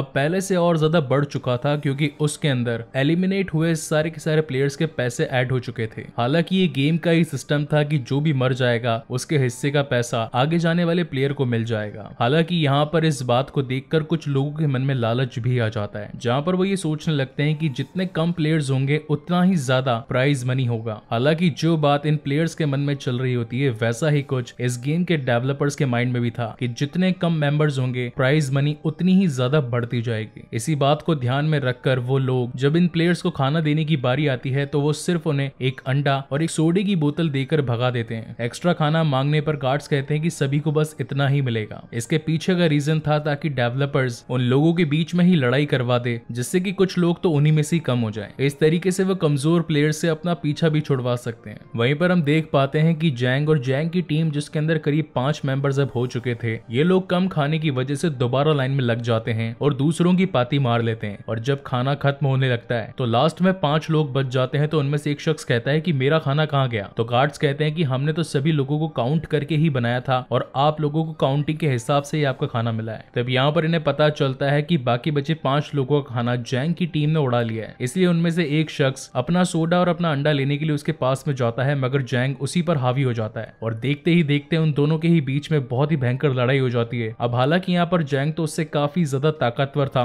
इसी वजह से वो पतला दुबला आदमी उसके सामने टिक नहीं पाता और जैंग मार मार कर उसकी हालत बुरी कर देता है मगर जब काफी देर पड़े रहने के बाद में भी वो शख्स नहीं उठता तो सियोंग आकर उसे देखता है तो पता चलता है की वो शख्स तो वहीं पर मारा गया है इस वजह से सियोंग वहां पर जाकर पिंग गार्ड्स को भी कहता है की आप कुछ करते क्यों नहीं इसने यहाँ पर शख्स की जान ले ली लेकिन अब ये गेम का रूल था कि अगर सभी प्लेयर्स आपस में ही लड़ते हैं तो गार्ड्स उन्हें नहीं रोकेंगे इनका काम ये था कि बस चुपचाप खड़े रहकर तमाशा देखना जहाँ पर हम ये देख पाते हैं कि जैसे ही वो शख्स मर चुका होता है तो उसके हिस्से के पैसे भी उस पिगी बैंक में ऐड हो जाते हैं जो कि सभी लोग अपनी आंखों से देख रहे होते हैं और अब इस वक्त तक पूरे गेम के अंदर सिर्फ और सिर्फ एक लोग ही बचे होते हैं और total amount of prize money बन चुका होता है करीब चौतीस बिलियन नौ मिलियन वॉन्ग वहीं पर सीन शिफ्ट होता है जून की तरफ जिसने की अब इस वक्त तक स्क्वायर वाला मास्क पहन लिया होता है और जैसा कि हम जानते हैं कि स्क्वायर वाले ट्रायंगल और सर्कल वालों के सीनियर होते हैं इसीलिए अब वो अपने सारे काम आसानी से कर पाएगा यानी कि उन लोगों की तहकीकात यहाँ पर क्या और कैसे चल रहा है इसके पीछे कौन है उन सभी की जाँच पड़ताल और बाकी सारे सच्चे सबूत निकालना वहीं पर हम ये भी देख पाते हैं कि जिन गार्ड्स ने स्टार्टिंग में डॉक्टर की मदद करी थी वो अब उसे उस प्लेस पर लेकर आते हैं जहाँ पर ये doctor on the spot shoot हो जाने के बावजूद भी बच जाने वाले प्लेयर्स के ऑर्गन निकालने का काम करता था और ये काम ये गार्ड्स काफी टाइम से कर रहे थे वेल well, यहाँ पर मैं आपको एक चीज एक्सप्लेन कर देता हूँ जो कि इसके आगे आने वाले पार्ट्स में हमें पता चलेगा कि ये जो पूरा खेल है ये करीब 1988 से चलता आ रहा है जिसमें हर राउंड के अंदर काफी बार नए नए विनर्स बन चुके हैं और इसी तरीके से ये खेल अभी तक जारी है इस बीच में कुछ गार्ड्स ने अपना ही प्रॉफिट कमाने के लिए कुछ ऐसे डॉक्टर्स या फिर कुछ ऐसे लोगों को चूज किया जो की एक्सटर्नल सोर्स पर इनको कुछ पैसा कर दे पाए अगर एक तरीके से देखा जाए तो ना ही दूसरे प्लेयर्स को और ना ही इस गेम के डेवलपर्स को इन छुपे चोरों के बारे में पता है यहाँ पर ये पिंग गार्ड हर बार ऐसा किया करते थे और डॉक्टर को आने वाले खेल के बारे में पहले ही बता दिया करते थे और थोड़ा कुछ एक्स्ट्रा खाना भी दे दिया करते थे क्योंकि वैसे भी डॉक्टर की वजह से तो इन्हें मुनाफा हो ही रहा था जिसके बाद में सीन शिफ्ट होता है सांगू पर जो की अपनी टीम को ये बता रहा होता है की हो सकता है की आज रात हम सभी पर हमला होगा क्योंकि जिस तरीके के हालात चल रहे हैं यहाँ पर ये लोग लड़ झगड़ कर ही आपस में एक दूसरे को कम कर देंगे ताकि प्राइज मनी बढ़ जाएगा और जो जीतेगा का सारा पैसा उसे मिल जाएगा तो क्यों ना हम एक टीम बनकर उनका सामना करने के लिए पहले से ही प्रिपेयर रहे जिसे सुनकर अब सियोंग भी सीबीओ के पास जाकर कहता है की अगर लाइट होने के बाद में तुम्हें कुछ भी हलचल या फिर लड़ाई होने का अंदेशा हो तो तुम सीधा हमारे पास में आ सकती हो क्योंकि हमने अपनी एक टीम बना ली है तुम हमारे पास में सुरक्षित रहोगी मगर सीबीओ के कहती है कि मुझे तो तुम पर भी भरोसा नहीं कि क्या पता शायद तुम भी मेरी जान ले लो इसलिए मैं अपना काम अपने हिसाब से देख लूंगी तुम अपना काम करो वहीं पर अगले सीन में हम अगेन डॉक्टर और साथ ही उन्हीं पिंग गार्ड्स को देखते हैं जो की डॉक्टर डॉक्टर को ये बता रहे थे कि हो सकता है कि आज प्लेयर्स के बीच में लड़ाई होगी इसलिए चुपचाप जाकर एक कोने में बैठ जाना और सांस तक की आवाज मत लेना क्योंकि इस बार हमने उन्हें खाना कम दिया है और कम खाना होने की वजह से उनके बीच में रात को तो लड़ाई जरूर होगी क्योंकि वहां पर खाना कुछ लोगों को मिला होगा और कुछ को नहीं मिला होगा इसीलिए हो सके तो किसी ताकतवर टीम के साथ में मिल जाना और एक टीम बनाकर ही काम करना जिसे सुनकर डॉक्टर वापस जाकर जैंग की टीम को ज्वाइन कर लेता है तो वहां पर जैंग की टीम उसे कहती है कि हम तुम्हें अपनी टीम में शामिल क्यों करें तो डॉक्टर कहता है कि मुझे पता पता है कि अगले गेम में क्या होने वाला है जिसे सुनकर फाइनली जैंग डिसाइड करता है कि डॉक्टर को शामिल कर लेना फायदे का सौदा रहेगा जिसके बाद में हम ये देख पाते हैं कि सारे पिंक गार्ड जिनके पास में ट्राइंगल होता है और साथ ही बंदूकें भी होती है वो लोग बींग सिक्योरिटी दरवाजे के पीछे आकर खड़े हो जाते हैं जिनमें जूनहो भी शामिल हो जाता है मगर ये तब तक लड़ रही टीम को नहीं रोकेंगे जब तक फ्रंट मैन का आदेश नहीं आ जाता यानी कि ये लोग बस छिपकर तमाशा देखने वाले थे और अब जैसे ही यहाँ पर बाकी लोगों के बीच में लाइट्स बंद होती हैं तो जैंग और और जैंग की टीम कुछ नुकीले हथियार जैसे कि उनके पास में जो सोडी की बोतल थी उसे कर नुकीले कांच से बाकी लोगों की जान लेने लगते हैं और अब देखते ही देखते वहाँ का माहौल बिगड़ जाता है और अब हर कोई झगड़ा करने पर उतारू हो जाता है वहीं पर हम ये भी देख पाते हैं कि उस पूरे हॉल के अंदर थर्मल डिटेक्टिंग कैमराज लगे होते हैं जिन्हें की फ्रंट मैन ऊपर से देख रहा होता है जिसे सभी प्लेयर्स की लोकेशन और वो क्या कर रहे हैं ये सब कुछ पता चल रहा होता है वहीं पर हम जैंग को देख पाते हैं जो कि इस वक्त तक सीबीओ के पास पहुंचकर गला घोट कर उसे मारने वाला होता है मगर कैसे जैसे तैसे सिबियो को अपनी जान बचाकर वहां से भाग जाती है मगर फिर भी जब जैंग उसका पीछा कर रहा होता है तो वहां पर सांगू और अली कर सिबियो की जान बचा लेते हैं जहाँ पर अब ये तीनों चचा को ढूंढने लगते हैं मगर इन्हें पता चलता है की चचा तो अपने प्लेस पर है ही नहीं काफी ढूंढने के बावजूद भी चचा उन्हें नहीं मिलते और इस वक्त तक पूरे के पूरे हॉल के अंदर लड़ाई का माहौल हो चुका था हर कोई अपनी जान बचाने प्लस कमजोर लोगों को खत्म करने में लगा था ताकि गेम की प्राइज मनी और बढ़ पाए और जीतने वाले को बहुत सारा पैसा मिल जाए मगर तभी हम देख पाते हैं कि ऊपर और ऊंचाई पर खड़े चचा उन सभी लोगों को कह रहे होते हैं कि आप सभी रुक जाइए लड़िए मत अगर आप सभी यहीं पर मर जाएंगे तो आगे गेम कौन कंटिन्यू करेगा जिसे सुनने के बाद में फ्रंट मैन वहाँ की लाइट्स को ऑन करवा देता है और वहीं पर दरवाजे के पीछे खड़े गार्ड्स को अंदर भिजवा देता है अब यहाँ पर सिक्योरिटी गार्ड्स को देख हर कोई अपने हाथ खड़े कर लेता है और अपनी जगह पर वापस से पहुंच जाता है जहाँ पर जूनहो देख पाता है की हर जगह पर लाशें बिखरी पड़ी है वहीं पर अब सर्कल वाला स्टाफ आकर उन लाशों को अपने साथ ले जाने लगता है कॉफिन में डालकर जलाने के लिए वहीं पर मौका पाकर जून सियोंग के पास आकर उससे पूछता है कि यहाँ पर हांग नाम का कोई शख्स है क्या तो सियोंग बताता है कि मैं ऐसे किसी नाम के शख्स को नहीं जानता और अब जब पूरा माहौल ठीक हो जाता है सारी डेड बॉडीज वहां से हट जाती है तो सियोंग को उस स्क्वायर वाले गार्ड की बात याद आती है कि हांग नाम के शख्स के बारे में वो खोज रहा था इसलिए वो अपने सभी टीम मेंबर्स का नाम पूछने लगता है जहाँ पर वो सांगू का नाम तो जानता था क्योंकि वो स्कूल फ्रेंड्स थे वहीं पर अली भी अपना नाम बताता है कि मेरा नाम अली मोहम्मद है और मैं पाकिस्तान से हूँ फिर वो लोग चचा का नाम पूछते हैं तो चचा काफी ज्यादा परेशान हो जाता जाते हैं घबराने लगते हैं और उन्हें अपना नाम याद नहीं आ रहा होता है तो वहां पर सियोंग कहता है ठीक है चाचा नो प्रॉब्लम आप अपना नाम रहने दीजिए हम तो वैसे भी आपके बच्चे हैं आपको पंकल कहकर बुलाते रहते हैं तो रहने दीजिए दिमाग पर ज्यादा जोर मत डालिए जिसके बाद में लाइट्स बंद हो जाती है और अब सारा स्टाफ भी सोने के लिए चला जाता है जून भी अपने कमरे में वापस आ जाता है और वहाँ पर घटे वाक्य को अपने मोबाइल में मैसेज के थ्रू लिखकर किसी को सेंड करना चाहता होता है मगर नेटवर्क न आने की वजह से वो उसे अपने मोबाइल में सेव कर लेता है वहीं पर हम देख पाते हैं नेक्स्ट मॉर्निंग का सीन जहाँ पर इस वक्त तक भी चचा सोए नहीं होते हैं तो सियोंग उनसे पूछता है कि आप रात भर जाग रहे थे आप सोए क्यों नहीं तो चचा कहते हैं कि यहाँ का माहौल काफी ज्यादा खराब था और अगर कोई आकर तुम पर हमला करता तो फिर तुम लोगों को बिचारों का क्या होता इसलिए मैं तो तुम्हारी रक्षा के लिए जाग रहा था well this was so funny इसके बाद में अगले गेम की बारी आ चुकी थी जहाँ पर सभी प्लेयर्स को एक व्हाइट कलर के रूम में ले जाया जाता है और साथ ही उन्हें कहा जाता है की आप लोग दस दस जनों की टीम बना लीजिए जहाँ पर सांगू अपनी टीम से कहता है की हमारे पास में ऑलरेडी एक लड़की और एक बूढ़ा इंसान है इसलिए हमें पांच तक तगड़े कंटेंडर यानी कि पांच लड़कों की टीम चाहिए होगी ताकि हम एक मजबूत टीम बन पाए तो ये पांचों डिसाइड करते हैं कि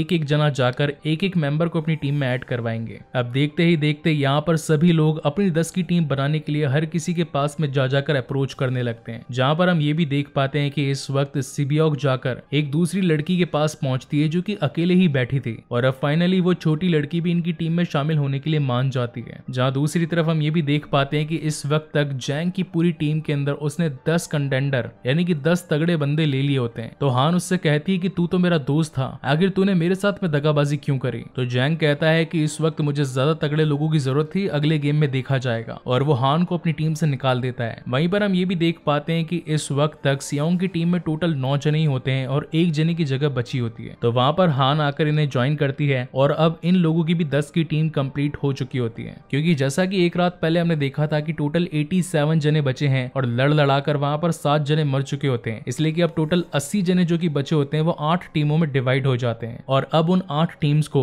एक और दूसरी लोकेशन पर ले जाया जाता है जहाँ पर इनका नेक्स्ट गेम होता है टग ऑफ वॉर यानी कि दो टीमों के बीच में रस्सी को खेचना और जो टीम जीतेगी वो बच जाएगी और जो टीम हारेगी वो ऊंचाई से गिरकर मारी जाएगी जहाँ पर सबसे पहले जैंग की टीम जाती है और उसके अपोजिशन में कोई कमजोरी टीम पहुंचती है अब जैसा कि जैंग की टीम में सारे मर्द और सबसे ज्यादा तगड़े मुस्टंडे होते हैं तो उन लोगों का जीतना तो लाजमी था और देखते ही देखते वो लोग जीत भी जाते हैं और सामने वाली टीम नीचे गिर मारी जाती है जहाँ पर हम लोग ये देख पाते हैं की नीचे गिरे लोगों को पिंग गार्ड आकर कॉफिन में डाल रहे होते हैं चाहे कोई जिंदा हो या चाहे कोई मर चुका हो लेकिन अगर इन्हें कोई जिंदा बॉडी वहां पर मिलती थी तो ये लोग उसके कॉफिन पर एक खून से प्लस का साइन बना देते थे ताकि आगे जाकर जो छुपी हुई पिंक टीम डॉक्टर के साथ में मिली हुई है वो इनके ऑर्गन्स निकाल कर बाहर ब्लैक मार्केट में बेच सके और अब देखते ही देखते बाकी टीम्स का भी वही हाल होता है जिस जिसके बाद में बारी आती है सियांग की टीम की मगर उन्हें पता चलता है कि उनके सामने जो अपोजिशन पार्टी है उसमें भी काफी सारे तगड़े बंदे मौजूद हैं उनसे लड़ने से पहले इनकी हालत तो ऑलरेडी बुरी हो जाती है तब वहां पर चचा इन सभी का हौसला अफजाई करते हैं और कहते हैं कि मैंने अपनी जिंदगी में काफी बार टग ऑफ वॉर खेला है और मैं आज तक उस गेम को कभी नहीं आ रहा ये गेम अच्छे टीम वर्क के साथ में जीता जा सकता है और साथ ही अब धीरे धीरे करके इंस्ट्रक्शन देने लगता है एज लाइक एज की हमारी टीम के कंटेंडर को सामने वाली टीम के कंटेंडर के जितना ताकतवर होना चाहिए यानी कि टीम का एक मजबूत हिस्सा सबसे आगे और टीम का दूसरा मजबूत हिस्सा सबसे पीछे वहीं पर सभी लोग एक लेफ्ट और एक राइट में होना चाहिए जिन्हें की दम लगाते वक्त काउंटिंग के साथ में पीछे जाना चाहिए और अब इसी के साथ इनकी टग ऑफ वॉर शुरू हो जाती है जहाँ पर गेम के स्टार्ट होते के साथ ही ये लोग उस रस्सी को खेच कर पीछे की ओर झुक जाते हैं और उस पूरी पोजिशन को दस सेकंड तक होल्ड करते हैं ताकि अपोजिशन पार्टी इन्हें टस से मस न कर पाए और अब जब धीरे धीरे करके उनकी टीम का हौसला कम होने लगता है तो यहाँ से सियोंग की टीम अपना दम लगाना खिलाना चालू करती है लेकिन अब जैसा की उन सभी की टीम में मर्द थे और इस टीम के अंदर तीन तो ऑलरेडी लड़कियां प्लस एक बुढ़े अंकल भी थे तो इनमें तो दम कमी था तो ये लोग धीरे धीरे हारने लगते हैं मगर तभी वहां पर सांगू कहता है कि एक पल के लिए रस्सी को छोड़ना और वापस से पीछे खींच लेना तो पहले तो इनकी टीम मना करती है कि तुम ये क्या पागलपंती की बातें कर रहे हो अगर हमने एक सेकंड के लिए भी रस्सी छोड़ी तो वो लोग हमें पूरी तरीके से खींच लेंगे लेकिन सांगू के जोर देने पर फाइनली वो लोग एक सेकंड के लिए रस्सी छोड़ते हैं और इसी तगड़े सस्पेंस के साथ में ये शानदार एपिसोड यहीं पर खत्म होता है आज हम इसके season one and episode fifth के बारे में बात करेंगे जिसकी शुरुआत इसके लास्ट एपिसोड की कंटिन्यूशन से ही होती है जहाँ पर लास्ट पार्ट में हमने देखा था कि किस तरीके से टग ऑफ वॉर में एक तरफ तो सांगू की टीम होती है वहीं पर दूसरी टीम जिसके अंदर सारे तगड़े लोग भरे होते हैं जहाँ पर सांगू के कहने पर सभी लोगों ने एक कदम आगे बढ़ाया था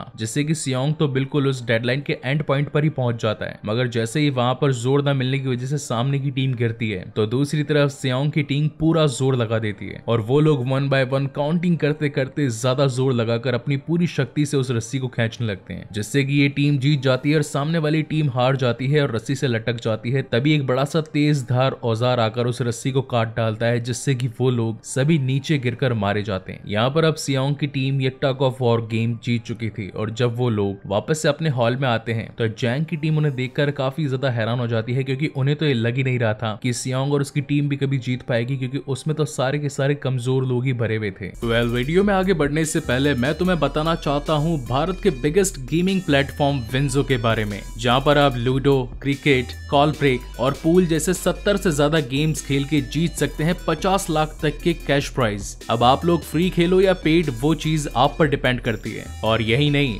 मैंने तो अपनी आई की फैंटेसी टीम भी इधर बना ली है और डरना बिल्कुल भी मत क्योंकि आपको यहाँ पर अपने ही जैसे बिल्कुल रियल प्लेयर्स मिलेंगे तो जीतना भी एकदम ईजी है जीते हुए सारे कैश प्राइज को इजीली विड्रॉ भी कर सकते हैं पेटीएम यूपीआई और बैंक ट्रांसफर के थ्रू वैसे यहाँ विंजो स्टोर भी है जहाँ आपको मिलेंगे फ्री फायर डायमंड्स इंडिया में चीपेस्ट प्राइस पर और आप biggest brands like Myntra Hotstar Domino's and etcetera के डिस्काउंट कूपन भी खरीद सकते हैं सो पैसे जीतो भी और बचाओ भी बाकी और क्या चाहिए भाई तुम्हें K T M Royal Enfield iPhone thirteen वो भी मिल रहा है इधर रोज स्पिनर घुमाने पर तो जाओ और डाउनलोड करो आप आलसियों के लिए लिंक डिस्क्रिप्शन में ही डाल दिया है वो भी पचास रूपए बोनस के साथ so go and download WinZO app वहीं पर सीन शिफ्ट होता है नीचे ब्रिलिंग पॉइंट पर जहाँ पर मर जाने वाले सारे कंटेस्टेंट को लाया जाता है और उन्हें जला दिया जाता है मगर जैसे की लास्ट पार्ट में हमने देखा था की यहाँ के कुछ लोग जो की ह्यूमन ऑर्गन की हेरा फेरी करा करते थे उन्होंने ऐसे कुछ बॉक्सेस पर प्लस बना दिया था जिनमें कोई प्लेयर इस वक्त तक भी जिंदा थे जहाँ पर एक न्यू बॉडी को पाकर वहीं का स्टाफ मेंबर डॉक्टर को बुलाने के लिए जाता है वहीं पर सीन शिफ्ट होता है अगेन हॉल में जहाँ पर जीते हुए सभी प्लेयर्स को खाने के लिए एक एक भुट्टा मिलता है इस सीन को देखने से हम व्यूअर्स को ये तो पता चली गया था था कि इस वक्त तक पूरे स्क्विड गेम के मेंबर्स या फिर कह सकते हैं कि डेवलपर्स इन प्लेयर्स को बहुत ही कम खाना दे रहे थे मेन वाइल हान सांगू से पूछती है कि इस टीम का कैप्टन कौन है मुझे तो लगता है कि शायद तुम ही होंगे तो वहाँ पर सांगू कहता है कि हम लोग सारे के सारे ही कैप्टन है साथ ही वो उसे एक बात और कहता है कि जैंग ने अपनी टीम में ऑलरेडी तगड़े लोगों को भर लिया था ऐसा लग रहा हो मानो कि उसे इस गेम के बारे में पहले से ही पता चल गया था और अब जैसा कि रात का समय हो चला था तो दस मिनटों में वहाँ की लाइट्स बंद होने वाली थी और सबके मन में लास्ट नाइट हुए हादसे की वजह से इस वक्त भी डर था कि अगर लाइट बंद हुई तो अगेन हम पर हमला हो सकता है इसीलिए वो पूरी टीम मिलकर एक प्लान बनाती है कि हमारी टीम में से दो दो जने रात को जागकर पहरा देंगे जिससे टीम के बाकी के मेंबर्स आराम से सो पाए वहीं पर सियांग भी कहता है कि क्यों ना हम अपने पास में एक बड़ी सी दीवार बना ले ताकि वो लोग हम पे अटैक करने से पहले उस दीवार को तोड़े जिससे कि हम लोग नींद में से जाग जाएं और हमें लड़ने का मौका मिल पाए इस बात से सभी एग्री हो जाते हैं और अब देखते ही देखते सारे टीम के मेंबर्स वहीं पर बेड से एक बड़ी सी दीवार बनाने की कोशिश करते हैं मगर तभी वहां पर जाएगा जाता है और वो सियांग से कहता है कि तुम्हारी ये दीवार तो मैं बड़ी ही आसानी से तोड़ दूंगा तुम्हें क्या लगता है कि तुम मुझसे बच पाओगे तो सियांग उससे कहता है कि तुम मेरी छोड़ो अपनी चिंता करो क्योंकि जिस तरीके से तुम बदमाश हो तो तुमसे ज्यादा बदमाश तो तुम्हारी खुद की टीम में भरे पड़े हैं क्या पता हमें साफ करने से पहले वो लोग तुम्हें ही ना साफ कर दें अगर मैं उनकी जगह पर होता तो सबसे पहले स्ट्रॉन्ग कंटेंडर यानी कि तुम्हारा ही पत्ता साफ करता ये बात सुनकर जैंग काफी डर जाता है और अपनी टीम से आकर कहता है कि आज रात कोई भी लड़ाई नहीं होगी हम गेम को नॉर्मल वे में ही खेलेंगे जहां पर लाइट्स बंद होने में सिर्फ और सिर्फ अब एक मिनट ही बाकी था जिसमें सियोंग कहता है कि आज रात सबसे पहले मैं और सांगू पहरा देंगे मगर सांगू सियोंग से कहता है कि तुम काफी ज्यादा थके हुए हो क्यों ना आज रात पहले मैं और अली पहरा दे लें बाद में तुम दे लेना और अब वहाँ पर लाइट्स बंद हो जाती है जहाँ पर पहरा देने के लिए अली और सांगू दीवार के सामने ही बैठे होते हैं मगर तभी अली अपना बचा हुआ कौन सांगू को देता है क्योंकि उसने उसकी बहुत हेल्प करी थी पहले तो जब वो लोग वापस से अपने घर लौटे थे तो सांगू ने उसे खाना भी खिलाया था घर पर बात करने के लिए फोन भी दिया था और रास्ते में जाने के लिए बस का किराया भी दिया था अली उसके बदले थैंक यू बोलना चाहता था मगर बोल नहीं पा रहा था इसलिए उसने आज अपनी पाती का भुट्टा सांगू को दिया जहाँ पर सांगू उस भुट्टे को आधा आधा कर देता है और कहता है कि लो इसमें आधा तुम्हारा भी होना चाहिए और अब धीरे धीरे करके उनकी भी दोस्ती काफी ज्यादा बढ़ जाती है जहाँ पर सांगू अली से पूछता है की आखिर तुम उस गेम में क्यूँ आए तो अली बताता है की मेरा पूरा नाम अली मोहम्मद है मैं पाकिस्तान से आया हूँ मैं अपनी बीवी बच्चों के साथ में यहाँ पर रहता हूँ मेरा एक छोटा बेटा है जिसकी उम्र सिर्फ एक साल है वहीं पर सीन शिफ्ट होता है उन सभी गार्ड्स पर जो की इलीगल काम कर रहे होते हैं तो उनमें से एक शख्स जून हो से पूछता है कि नंबर 29 कल तुम क्यों नहीं आए थे क्योंकि तुम जानते हो ना कि हमारा काम कितना खास है अगर कल तुम नहीं आए तो ध्यान रखना तुम्हारी हालत काफी ज्यादा बुरी कर देंगे हम लोग यहाँ पर बेसिकली जूनहो ने अपने मास्क को चेंज करके स्क्वायर से सर्कल पहन लिया होता है क्योंकि अगर वो स्क्वायर पहनेगा तो यहाँ पर नीचे लोगों को शक हो जाएगा कि कोई बड़ा स्टाफ का मेंबर हमारे ऊपर नजर रख रहा है और सारी बातों की छानबीन करने के लिए उसे नीचे उस प्लेस पर पहुंचना ही था जहाँ नीचे पहुंचने के बाद का नजारा जब जूनो अपनी आंखों से देखता है तो उसके पैरों तले तो जमीन खिसक जाती है क्योंकि वहां पर एक लाइफ बॉडी की इंटरनल पार्ट्स को निकालकर ह्यूमन बॉडी पार्ट्स की ट्रैफिकिंग का काम हो रहा था जहां पर उन्हीं में से आपस में कुछ लोगों में झड़प हो जाती है कोई कहता है कि आज डिलीवरी तुम दोगे कोई कहता है कि तुम क्यों नहीं चले जाते हो तो सामने वाला कहता है कि तुम्हें क्या लगता है कि गोताखोरी करना कोई आसान बात है इसमें काफी मुश्किल होती है और कभी कभार तो पूरे पैसे भी नहीं मिल पाते इसका मतलब ये था कि उन सभी को पानी के नीचे से जाकर डिलीवरी देनी पड़ती थी और वापस से उसे किसी सीक्रेट दरवाजे से लौटना पड़ता था क्योंकि मेन दरवाजों पर तो ट्राइंगल वाले गार्ड्स खड़े होते हैं जहाँ पर अब बारी आती है जून की वहीं पर अपना इलाज खत्म कर लेने के बाद वह डॉक्टर उन लोगों से कहता है कि कल की गेम का क्लू बताओ मुझे तो वो गार्ड्स कहते हैं कि तुम्हें इस वक्त क्लू नहीं मिलेगा पहले बाकी सारी बॉडीज का काम भी निपटाओ वहीं पर सीन शिफ्ट होता है जैंग की तरफ जो की रात भर सोया ही नहीं था क्योंकि उसे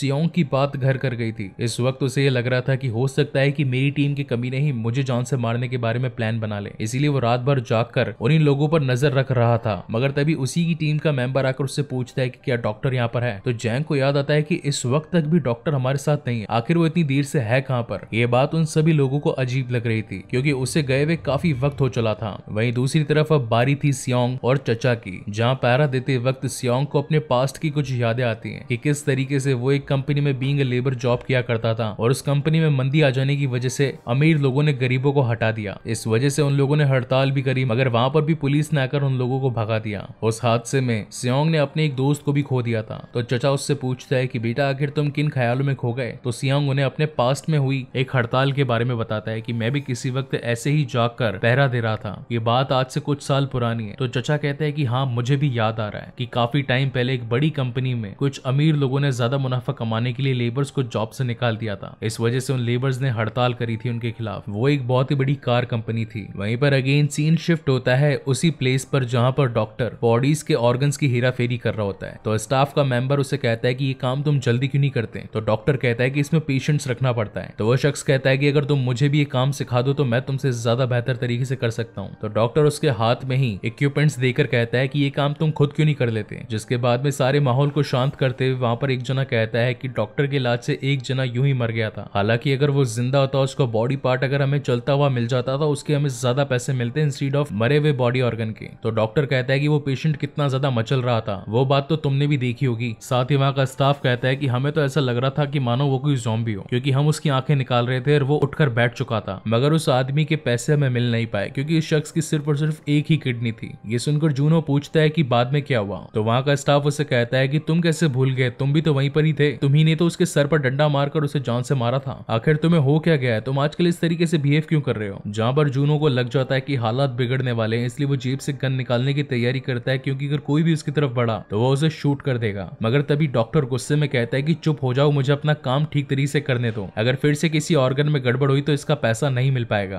अगर कोई भी चुप नहीं हुआ तो मैं इस बॉडी को छोड़कर यहाँ से चला जाऊंगा जहाँ पर अब माहौल को शांत होता देख वापस से जून अपनी गन को अपनी जेब में डाल देता है फिर बारी आती है उन निकाले हुए ऑर्गन को पानी के जरिए उस जगह से बाहर निकालने की जहाँ पर जून वहीं के एक स्टाफ मेंबर के साथ में उन ऑर्गन को एक बैग में डालकर निकल जाता है वो रास्ता इतनी बड़ी भूल भुलैया थी कि वहां पर जून को तो कोई भी रास्ता मालूम ही नहीं चलता इसीलिए वो शख्स मैक्स उसे कई सारे रास्तों से घुमा फिरा कर एक रसोई में लेकर जाता है जहाँ पर एक बड़े से फ्रिज को हटाकर वो मेंबर उसे वहाँ की छुपी हुई सुरंग को दिखाता है और बताता है की ये इमरजेंसी से बाहर निकलने का एक शॉर्टकट वे है जहाँ पर बॉम्ब भी लगे हुए थे तो जून पूछता है की आखिर ये बॉम्ब यहाँ पर क्यों लगाए गए हैं तो वो शख्स बताता है की अगर कभी हमारे ऊपर खतरा पड़ा या वी लोगों को पुलिस पकड़ने आई तो वो लोग यहाँ से बाहर निकलकर इस पूरी जगह को ही बॉम्ब से उड़ा देंगे ताकि उनके खिलाफ कोई भी सबूत ना मिल पाए मगर जून के मन में और भी कई सारे सवाल थे इसलिए वे एक करके उससे पूछने लगता है तो यहाँ पर उस स्टाफ मेंबर को उस पर शक होना स्टार्ट हो जाता है क्योंकि वो उससे इतनी ज्यादा पूछताछ जो कर रहा था तो वो उसे गन पॉइंट करके उससे उसका मास्क उतारने के लिए कहता है जहाँ पर जून जैसे अपना मास्क उतारता है तो साथ ही वो अपनी गन भी उस पर पॉइंट कर देता है और उसकी गन को चालाकी से अपने पास रख लेता है और साथ ही उससे पूछता है कि तुमने जिस शख्स को मारा था उसकी एक किडनी नहीं थी पता है वो कौन था वो मेरा भाई था और अब उसका बदला तो मैं तुमसे लेकर रहूंगा तो वो शख्स कहता है कि मुझे माफ कर दो हमें पता नहीं था मगर वो कोई आदमी नहीं था वो तो एक औरत थी जिसके उसकी सिर्फ एक किडनी थी फिर जब जून को ये बात पता चलती है कि उसका भाई सेफ है तो उसका मन तो शांत होता है मगर फिर भी सजा देने के लिए वो उस बंदे को वहीं पर गोली से मार देता है जहाँ पर जून को अपने भाई की बात याद आती है कि जब जून का ऑपरेशन था तो उसके भाई ने उसे अपनी एक किडनी निकाल कर दी थी और यही वजह थी कि जून अपने भाई को इतनी पागलों की तरह ढूंढ रहा होता है वहीं पर सीन शिफ्ट होता है डॉक्टर की तरफ जो की इस वक्त भी उन लोगों से अपना काम खत्म कर लेने के बाद में अगले गेम की जानकारी मांगना चाहता था मगर वहाँ का स्टाफ कहता है कि हमें खुद को नहीं पता कि अगला गेम क्या होने वाला है तुम यहाँ यहाँ से जा सकते हो डॉक्टर कहता है कि अगर मैं बिना जानकारी के गया तो वहाँ के गैंग मेंबर्स मुझे ही जान से मार डालेंगे क्योंकि उन्हें तो ये लग रहा होगा कि मैं तुम्हारे साथ मिलकर अगले गेम की प्लानिंग कर रहा हूँ और अगर बिना सबूत के गया तो वो मुझे कभी भी जिंदा नहीं छोड़ेंगे लेकिन अब स्टाफ के पास में भी जानकारी नहीं होती है और वो लोग उसे वहां से जाने के लिए कह देते हैं तो उन दोनों के ही बीच में झड़प हो जाती है और इसी बीच उनका एक शख्स भी मारा जाता है तो अब ये राज कहीं बाहर ना आ जाए इसलिए वो डॉक्टर को ही यही टपकाने के बारे में सोचते हैं इसलिए डॉक्टर अपनी जान बचाकर वहां से भागता है मगर तब तक एक शख्स बंदूक लेकर उसके पीछे पीछे पड़ चुका होता है उनके बीच में एक अच्छा खासा चेज सीन होता है जहाँ पर हमें कई सारे दरवाजे खुलते बंद होते दिखाई पड़ते हैं वहीं पर आखिर में वो दरवाजा खुलता है जहाँ पर उन्होंने मॉर्निंग में उन शेप्स में से चिक्की को निकालने का गेम खेला था तो वह स्टाफ उससे कहता है की तुम मुझसे डरो मत मैं तुम्हें कुछ नहीं करूंगा क्योंकि इस खेल में प्लेयर्स की ज्यादा इंपॉर्टेंस है स्ट्रीट ऑफ हम स्टाफ से अगर हमें कुछ हो जाए तो कोई प्रॉब्लम नहीं लेकिन अगर तुम्हें कुछ हो जाए तो बड़ी प्रॉब्लम क्रिएट हो सकती है इसलिए मैं चाहता हूँ कि तुम मेरे साथ मिल जाओ हम मिलकर इस वक्त भी सारी सिचुएशन को हैंडल कर सकते हैं मगर जैसे ही डॉक्टर डॉक्टर अपना डंडा नीचे रखने लगता है तो वहां पर वो गार्ड उसे शूट करने ही वाला होता है मगर तभी पीछे से फ्रंट मैन आकर उसे ही शूट कर देता है तो डॉक्टर को लगता है कि इस वक्त उसकी जान बच गई है मगर फ्रंटमैन आकर उसे भी जान से मार डालता है और कहता है कि इस गेम में गद्दारी की कोई जगह नहीं वहीं दूसरी तरफ जून उन छुपे हुए रास्तों में से जाकर एक ऐसे लाइब्रेरी सेक्शन में पहुंचता है जहाँ पर कई सारी किताबें कई सारे रिकॉर्ड्स पड़े थे वहां पर जून ये भी देख पाता है कि यहाँ पर 1988 की फाइल्स भी रखी पड़ी हैं यानी कि ये गेम 1988 से कंटिन्यू होता आ रहा है यहाँ पर सारी की सारी फाइल्स को क्लासिफाइड तरीके से जमा कर रखा हुआ था यानी कि हर एक साल की एक फाइल थी जिसे खोलने पर यह पता चलता है कि यहाँ पर हर साल कई सारे 400-500 लोगों को लाकर ये गेम खिलवाया जाता है फिर इनमें से एक विनर होने पर उसे काफी बड़ी धनराशि मिल जाती है जिसके बाद में उसे एक फाइल और मिलती है जो की दो की होती है जो की इस वक्त का करंट पीरियड होता है और उसमें उसी चार लोगों की डिटेल होती है जो की इस वक्त ये सारा गेम खेल रहे होते हैं मगर इसकी शुरुआत जीरो से होती है और इसी तगड़े सस्पेंस के साथ साथ में ये शानदार एपिसोड यहीं पर खत्म होता है आज हम इसके season one and episode six के बारे में बात करेंगे जिसकी शुरुआत में हम देख पाते हैं कि सारे प्लेयर्स एक लाइन में खड़े होते हैं और पिंग गार्ड जाकर उन्हें चेक करने लगते हैं क्योंकि ये वक्त आ चुका था अगले गेम का वहां पर हम चचा को भी देख पाते हैं जिन्होंने डर के मारे इस वक्त तक अपने पजामे में ही सुसु कर दिया होता है लेकिन सियोंग को ये बात देखकर काफी ज्यादा ऑकवर्ड लग रही थी इसलिए उसने अपना जैकेट उतार कर चचा के पेट पर बांध दिया ताकि किसी और कंटेस्टेंट को पता ना चल पाए कि वो बीमार है और उन्होंने जस्ट अभी अपने कपड़े ढकीले कर दिए जिसके बाद में सारे प्लेयर्स को गेम हॉल में ले जाया जाता है मगर तभी हम देख पाते हैं कि सीढ़ियों में कुछ गार्ड्स और साथ ही उसी डॉक्टर को लटका दिया होता है जिसने की गेम में गद्दारी करी थी इसका साफ और सीधा इंडिकेशन इन सभी प्लेयर्स को था कि जो भी इस गेम के अंदर रूल्स को तोड़ेगा या फिर बाकियों से गद्दारी करेगा तो उसका अंजाम यही होगा क्योंकि यहाँ पर सभी लोग अपनी नर्क जैसी जिंदगी से लड़कर एक सेकंड चांस पाने के लिए यहाँ पर आए और वैसे भी अगर सभी को बिना भेदभाव के खेलने का अगर मौका दिया जा रहा है तो गद्दार गद्दारों की गुस्ताखी माफ नहीं होगी और जिसने भी अगर नेक्स्ट टाइम से ऐसा किया था उसका हाल भी ऐसा ही होगा वहीं पर सीन शिफ्ट होता है जून की तरफ जो कि इस वक्त तक भी उसी सीक्रेट रूम में होता है जहां पर वो सारी फाइल्स पड़ी होती है वहां पर जून एक एक करके उन सभी इंपॉर्टेंट फाइल्स की फोटोज क्लिक करने लगता है मगर तभी वहां पर फोन की घंटी बजती है तो पहले तो जून फोन को उठाने के बारे में सोचता है मगर तभी उसे वहां पर किसी के चलने की आहट आती है इसलिए वो पीछे कहीं जाकर छिप जाता है जहां पर एंट्री होती है फ्रंट मैन की वो फोन उठाकर एक शख्स को कहता है कि सारी तैयारियां हो चुकी है वक्त आ चुका है वी को इन्फॉर्म करने का जिससे हमें ये तो पता चली जाता है कि फ्रंट मैन भी वी के सामने कुछ नहीं है यानी कि वी का औहदा उससे कई ज्यादा बड़ा है जहाँ पर फ्रंट मैन के चले जाने के बाद में जून अगेन उसी फोन से उसी नंबर को रिडायल करता है मगर उसका फोन नहीं लग पाता यहाँ गेम हॉल में गेम खेलने के लिए सभी लोगों को दो दो की टीम में डिवाइड होने के लिए बोल दिया जाता है जहाँ पर अब सभी लोग अपने उस शख्स को चुन लेते हैं जिसके साथ में वो गेम खेलना चाहते हैं ज्यादातर लोगों ने उन लोगों को चूज किया था जिन्हें वो जानते थे या फिर कोई उनके पहले दोस्त थे सियोंग अपने दोस्त सांगू के साथ में खेलना चाहता था मगर सांगू काफी ज्यादा स्मार्ट प्लेयर था और उसने अपना साथी अली को चूज किया क्योंकि सांगू जानता था कि अगर स्ट्रेंथ का कोई काम हुआ तो अली आगे उसकी सहायता करेगा और अब अली भी उसके साथ में हाथ मिला लेता है हालांकि सियोंग को यह देखकर काफी बुरा तो लगता है मगर वो भी इस बात को जानता था कि आखिर गेम तो गेम है हर कोई इसे जीतना चाहता है जहां पर एक दूसरा शख्स आकर सियोंग को अपनी टीम में ज्वाइन होने के लिए कहता है और कहता है कि वो एक मैथमेटिक्स है अगर तुम चाहो तो मेरे साथ खेल सकते हो यहाँ पर हमें एक ट्विस्ट वाली बात भी दिखाई पड़ती है कि इस वक्त तक गेम में टोटल पचास लोग थे और डॉक्टर के मर जाने के बाद में अब गेम में टोटल फोर्टी नाइन लोग ही बाकी बचे थे यानी कि अगर हर कोई दो दो की टीम में डिवाइड हो गया तो भी लास्ट में एक शख्स तो बचेगा ही बचेगा यही बात वो मैथमेटिशियन भी सियांग को कहता है कि हो सकता है कि लास्ट में वो बुढ़ा बच जाए क्योंकि उसे कोई भी अपनी टीम में शामिल नहीं करना चाहता इस बात को सुनकर सियांग को ये लगता है कि अगर चचा को कोई भी पार्टनर नहीं बनाएगा तो चचा को ये लोग एलिमिनेट कर देंगे और हम सभी जानते हैं कि एलिमिनेट मिनट का मतलब लूसीफर को हेलो बोलना है इस वजह से सियांग आकर चचा से हाथ मिला लेता है और कहता है कि मैं आपके साथ खेलना चाहता हूँ और अब देखते ही देखते वहाँ की टाइम लिमिट भी खत्म हो चुकी होती है आपस में टीम बनाने की और लास्ट में बच जाती है हान जो की वहाँ पर हर शख्स को कहती है बारी बारी से की क्या तुम मेरे साथ टीम बनाओगे मैं काफी अच्छा खेलती हूँ मेरे पास में स्ट्रेंथ है मैं हर कोई काम कर सकती हूँ जो भी तुम लोग मुझसे करवाना चाहते हो मगर उसकी सारी कोशिशें वहां पर फेल हो जाती है जब कोई भी उसे अपनी टीम में शामिल नहीं करता और अब देखते ही देखते सारे लोग हॉल में में पहुंच जाते हैं और हान को अकेले ही वहां के पिंक गार्ड्स पीछे से ले जाते हैं जिसके बाद में सीन शिफ्ट होता है एक ऐसे ग्राउंड में जहाँ पर कई सारे घर बना रखे होते हैं ये सारे घर आर्टिफिशियल होते हैं और साथ ही में शाम का वक्त दिखाया जाता है जहाँ पर हर दो जनों के पीछे एक पिंक गार्ड खड़ा होता है उन सभी को बीस बीस कंचे दिए जाते हैं और इनका टास्क ये होता है कि सभी के पास में सिर्फ थर्टी मिनट्स की टाइमिंग होगी उस थर्टी मिनट में दोनों में से किसी एक प्लेयर को सारे कंचे जीत कर अपने पास रख लेने और जिस भी कंटेस्टेंट के उसके पास में एक भी कंचा नहीं होगा उसे एलिमिनेट कर दिया जाएगा यही गेम के रूल्स होते हैं यहाँ पर चचा इस गेम से रिलेटेड एक पुरानी बात का जिक्र करते हैं जिसमें कहा जाता है खानबू ये खानबू वो शख्स होता है जो की अपना सारा पैसा अपनी सारी दौलत अपना सब कुछ अपने दोस्त को दे डालता है ये बात सुनकर सियोंग कहता है की हाँ खानबू मैं इस नाम को पहले भी सुन चुका हूँ बचपन में इसी तरीके से गेम खेला करते थे तो चचा कहते हैं कि हो सकता है शायद मैं तुम्हारा खानबू बनूं और यहाँ पर हमें इन दोनों की एक तगड़ी बॉन्डिंग दिखाई जाती है मगर पर जैसा कि गेम के रूल्स थे कि सभी को अपने पार्टनर के सारे कंचे ले ले लें अब चाहे वो कैसे भी ले वहीं पर हम एक कपल को भी देख पाते हैं जो कि इस वक्त ये सोच रहा होता है कि अगर उन्होंने ये गेम खेला तो दोनों में से किसी एक की डेथ होना तो डन है जहाँ पर अब हर कोई हैरान तो होता है मगर प्राइज मनी के लिए अब हर कोई गेम को खेलना स्टार्ट कर देता है जब सियोंग चचा के साथ में गेम खेलना स्टार्ट करते हैं तो चचा बूढ़े होने की वजह से हर चीज को भूल जाते हैं और उन्हें ये लगता है कि वो अपने गाँव अपने घर आ चुके हैं इसलिए वो गलियों में अपना घर ढूंढने लगते सकते हैं तो सियोंग कहता है कि हमें गेम खेलना है अगर हम गेम नहीं खेलेंगे तो ये गार्ड्स हमें जान से मार देंगे यहाँ पर सिबियोक के पास में ज्यून होती है ये दोनों ही आपस में ये वादा कर लेती है कि हम सिर्फ और सिर्फ एक गेम और एक ही राउंड खेलेंगे जो की सिर्फ हो सकता है की पांच मिनट में ही कम्प्लीट हो जाए इसलिए हमारे पास में करीब पच्चीस मिनट है जिसके अंदर हम आराम से अपनी पुरानी बातें या फिर अपने पर्सनल एक्सपीरियंस शेयर कर सकते हैं वहीं पर हम अली और सांगू को भी देख पाते हैं जो कि इस वक्त कंचो का खेल खेलना स्टार्ट कर देते हैं जिनमें था ऑड और इवन हालांकि ये गेम खेलना अली को नहीं नहीं आता था सांगू ने इसे गेम खेलना सिखाया मगर फिर भी हर बार अली जीतता जाता है और सांगू के पास में सिर्फ लास्ट में एक ही गंजा बचता है वहीं पर सीन शिफ्ट होता है जैंग की तरफ जो कि गुंडा था मगर उसका पार्टनर उससे भी बड़ा कमीना होता है ये दोनों भी पहले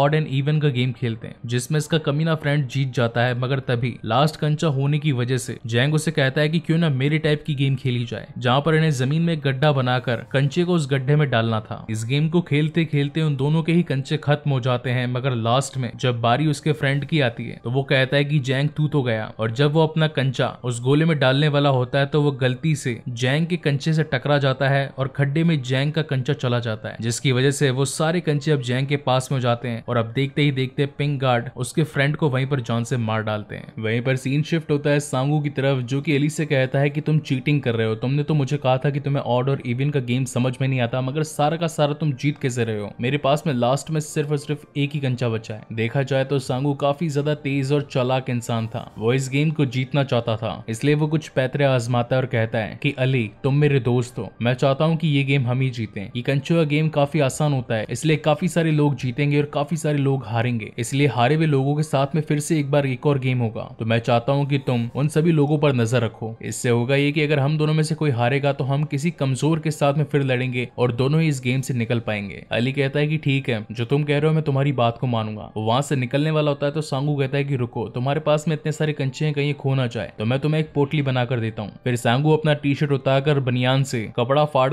उसके लिए एक झोली बना देता है जिसके बाद में अली निकल जाता है बाकी सभी लोगों का गेम देखने के लिए कि आखिर कौन जीत रहा है और कौन हार रहा है मगर यहाँ दूसरी तरफ हम देख पाते हैं कि इस वक्त तक तो सारे के सारे कंचे सांगू के पास में होते हैं और वो ये कंचे ले जाकर पेंग गार्ड को दे देता है और वहीं से निकल जाता है तो अब अली के पास में क्या था वो मैं आपको आगे आगे बताऊंगा वहीं पर सीन अगेन शिफ्ट होता है चचा और हमारे सियोंग पर जहाँ पर सियोंग चचा से काफी ज्यादा मिन्नतें मांग रहा होता है कहता है कि आप मेरे साथ गेम तो खेलिए तो चचा कहते हैं कि मैं तो यहाँ पर अपना घर ढूंढने के लिए आया हूँ मुझे पता नहीं है कि मेरा घर कहाँ पर है मगर लगता है कि मैं शायद जरूर ढूंढ लूंगा और काफी लाख कोशिशों के बाद में सियोंग उन्हें गेम खेलने के लिए बिठाई देता है जहाँ पर वो भी अगेन ऑड एंड इवन का गेम खेलना स्टार्ट करते हैं वहीं पर सीन शिफ्ट होता है सिबियोक और जियोन पर जो कि इस वक्त तक आपस में बस बातें ही कर रही थी और एक दूसरे से ये पूछ रही थी कि अगर तुम इतना सारा पैसा जीत जाओगी तो कहाँ पर जाओगी तो सिबियॉक कहती है कि वैसे तो मुझे पता नहीं है मगर मेरा एक छोटा भाई है तो मैं सारा पैसा उसके अच्छे जीवन के लिए जरूर लगाऊंगी यहाँ पर काफी सारे लोग ढेर हो चुके होते हैं क्योंकि जिन लोगों ने चालाकी से सारे कंचे ले लिए होते हैं वो तो पिंक गार्ड्स को देकर वहां से निकल जाते हैं और जो नहीं दे पाते हैं गार्ड्स उन्हें वहीं पर मार देते हैं यहाँ दूसरी तरफ मैच चल रहा होता है सियांग और चचा के बीच में जहाँ पर चचा को भूलने की बीमारी थी और वो गलती से ऑट बोलकर इवन पे खेल जाते हैं जिसका फायदा उठाकर सियांग उनसे सारे कंचे जीत जाता है मगर मगर तभी एक और कंचा लास्ट में चचा के पास में बचा होता है तो सियोंग कहता है कि हमें और खेलना होगा मगर चचा गेम खेलने से मना कर देते हैं और फिर अगेन उस पूरे एरिया में घूमने लग जाते हैं सियोंग उनसे कहता है कि मेरी बात तो सुनिए गेम खेलते हैं अगर हम गेम नहीं खेलेंगे तो यहाँ के गार्ड्स हमें जान से मार देंगे मगर फिर भी चचा घूमते ही रहते हैं तो सियोंग उन्हें पकड़ता है और उन्हें जोर से धमकाता है कि सिर्फ एक कंचे के पीछे मैं अपनी जिंदगी नहीं कुर्बान कर सकता तो चचा कहते हैं कि वैसे भी तुमने तो ये सारे कंचे मुझसे धोखे से लिए हैं चलो लास्ट में गेम खेलते हैं अगर मैं जीता तो सारे कंचे मेरे और अगर तुम जीते तो मैं ये कंचा तुम्हें दे दूंगा तो सियोंग कहता है की मैं आखिर अपने सारे कंचे क्यों लगाऊ ये तो धोखा है तो चचा कहते हैं की खानबू यही तो होता है वो अपने सारे पैसे अपने सारे दोस्त को दे देता है क्या तुम बनना चाहोगे मेरे खानबू तो सियोंग उससे हाथ जोड़ता है माफी मांगता है सब कुछ करता है वो कहता है की मैं एक कंचे के बदले इतने सारे कंचे दाव पर नहीं लगा सकता मगर अब जैसा की चचा की शर्त थी तो वो मान जाता है मगर फाइनली चचा उसे अपना वो कंचा उससे यूं ही दे देते हैं और कहते हैं कि वैसे भी मेरी जिंदगी तो खत्म हो चुकी है मैं रहूं या ना रहूं इस गेम में उसका कोई फर्क नहीं पड़ेगा मगर अगर तुम बच जाते हो तो तुम्हारे पास में तुम्हारा पूरा परिवार है जाओ और उनकी सेवा करो और जैसे ही कंचा लेकर सियोंग वहां से निकलता है वहीं पर एक गार्ड पहुंच जाता है और हमें एक जोरदार गोली की आवाज सुनाई पड़ती है जहां पर हम अली को भी देख पाते हैं वो भी अब गार्ड्स के पास पहुंच चुका होता है समय खत्म होने पर लेकिन तब हम देख पाते हैं कि उसके पोटली में तो सिर्फ और सिर्फ कंकड़ भरे पड़े थे जिसे की चालाकी से सांगू नहीं डाले थे और अब देखते ही देखते गार्ड्स उसे भी मार देते हैं वहीं पर लास्ट में बारी आती है सिबियोग और जियोंग की जहाँ पर जियोंग सीबियोक को जिताने के लिए खुद का कंचा दूरी फेंक देती है और हार जाती है जिससे कि गार्ड आकर जियोंग को भी चांद से मार डालते हैं और अब जीते हुए सिर्फ और सिर्फ उन्नीस लोग ही बचे होते हैं इस गेम में और इसी तगड़े सस्पेंस के साथ में ये शानदार एपिसोड भी यहीं पर खत्म होता है आज हम इसके season one and episode seven के बारे में बात करेंगे जो काफी ज्यादा गोज बम से भरा हुआ है और ऐसा मैं क्यों कह रहा हूँ वो तो आपको इस एपिसोड में आगे पता चल ही जाएगा इसकी शुरुआत इसके लास्ट एपिसोड के कंटिन्यूशन से ही होती है जहाँ पर हम देख पाते हैं कि कंचो में खेले गए गेम के बाद में जिन लोगों के पास में भी कंचे नहीं थे उन्हें जान से मार दिया गया था और उनमें अली भी शामिल था जिसे अब कॉफिन बॉक्स में डालकर जलाने के लिए ले जाया जा रहा होता है वहीं बाकी बचे प्लेयर्स वापस से अपने हॉल में आते हैं मगर तभी उनके सामने एक ऐसी चीज उन्हें दिखाई पड़ती है जिसे देख तो उनके पैरों तले जमीन खिसक जाती है वहां पर उन्हें देखने को मिलती है हान जैंग उसे देख तो काफी ज्यादा शौक हो जाता है क्योंकि उसे तो ये लग रहा था कि हान के साथ खेलने के लिए कोई प्लेयर है ही नहीं तो बाकी बचे पिंग गार्ड्स ने उसे जान से मार दिया होगा मगर तभी हान हंसते हुए उसे कहती है कि तुझे क्या लगा लगा कि मैं इतनी आसानी से इस गेम से चली जाऊंगी और वैसे भी बच्चों के खेले जाने वाले खेल में एक कमजोर कड़ी या फिर कहते हैं कि एक अच्छी घोड़ी तो होती है तो वो इस खेल की मैं थी और यही रीजन था कि इन लोगों ने मुझे छोड़ दिया जैंग को ये देखकर काफी ज्यादा गुस्सा आता है क्योंकि वो सभी इतनी मेहनत से यहाँ तक पहुंचे थे और यहाँ पर हान तो बिना मेहनत किए ही पहुंच गई वहीं पर एलईडी स्क्रीन में हम ये भी देख पाते हैं कि इस वक्त तक टोटल खाली सत्रह प्लेयर्स बचे हैं और विनिंग प्राइज हो चुका है फोर्टी बिलियन नाइन मिलियंस जिसके बाद में सीन शिफ्ट होता है फ्रंट मैन पर जो कि अपने फोन पर किसी से बात कर रहा होता है कि सारे के सारे हॉस्टेजेस या फिर कह सकते हैं कि प्लेयर्स अगला खेल खेलने के लिए तैयार हैं I am only waiting for V I Ps जहाँ पर फोन रखने के बाद में सबसे पहले वो अपनी गन निकालता है क्योंकि उसे ये पता चल चुका था कि हर बार वो रिसीवर को उल्टा रखता था यहाँ पर सीधा किसने रखा और जैसा की हम सब जानते हैं कि उसके रूम में कल रात जून आया था तो अब फ्रंटमैन अपनी गन निकाल कर उसे ढूंढना संभालना स्टार्ट कर देता है फ्रंटमैन के इस शानदार बड़े से कमरे के अंदर और भी काफी सारे छोटे छोटे कमरे होते हैं जिनके अंदर अनगिनत अंडरग्राउंड छिपे हुए रास्ते रास्ते होते हैं रोनी में से एक के अंदर जून छुपा हुआ होता है काफी कोशिशें कर लेने के बावजूद भी फ्रंटमैन को जून नहीं मिल पाता जिसके बाद में सीन शिफ्ट होता है नेक्स्ट मॉर्निंग जहाँ पर सभी प्लेयर्स को खाने के लिए एक उबला हुआ आलू मिलता है सभी के चेहरे उतरे हुए होते हैं क्योंकि सभी के मन में उदासी होती है कि उन्होंने अपने एक खास प्लेयर को अपने सामने ही खो दिया तभी वहां पर एक शख्स खड़ा होता है और कहता है कि मुझे गेम और नहीं खेलना अभी हम टोटल सत्रह प्लेयर्स हैं इसलिए मुझे नौ प्लेयर्स की सहमति चाहिए इस गेम को छोड़ने के लिए क्योंकि गेम का तीसरा रूल यही था कि अगर मेजोरिटी ऑफ पीपल पहले इस गेम को छोड़ना चाहेंगे तो ये गेम यहीं पर खत्म हो जाएगा तभी वहां पर सांगू खड़ा होता है और उस पर चिल्लाने लगता है और कहता है कि इस गेम को हम यहाँ पर नहीं रोक सकते क्योंकि अब इस प्राइज मनी के हम काफी ज्यादा करीब आ चुके हैं और अब इस गेम को छोड़ना बेवकूफी की बात होगी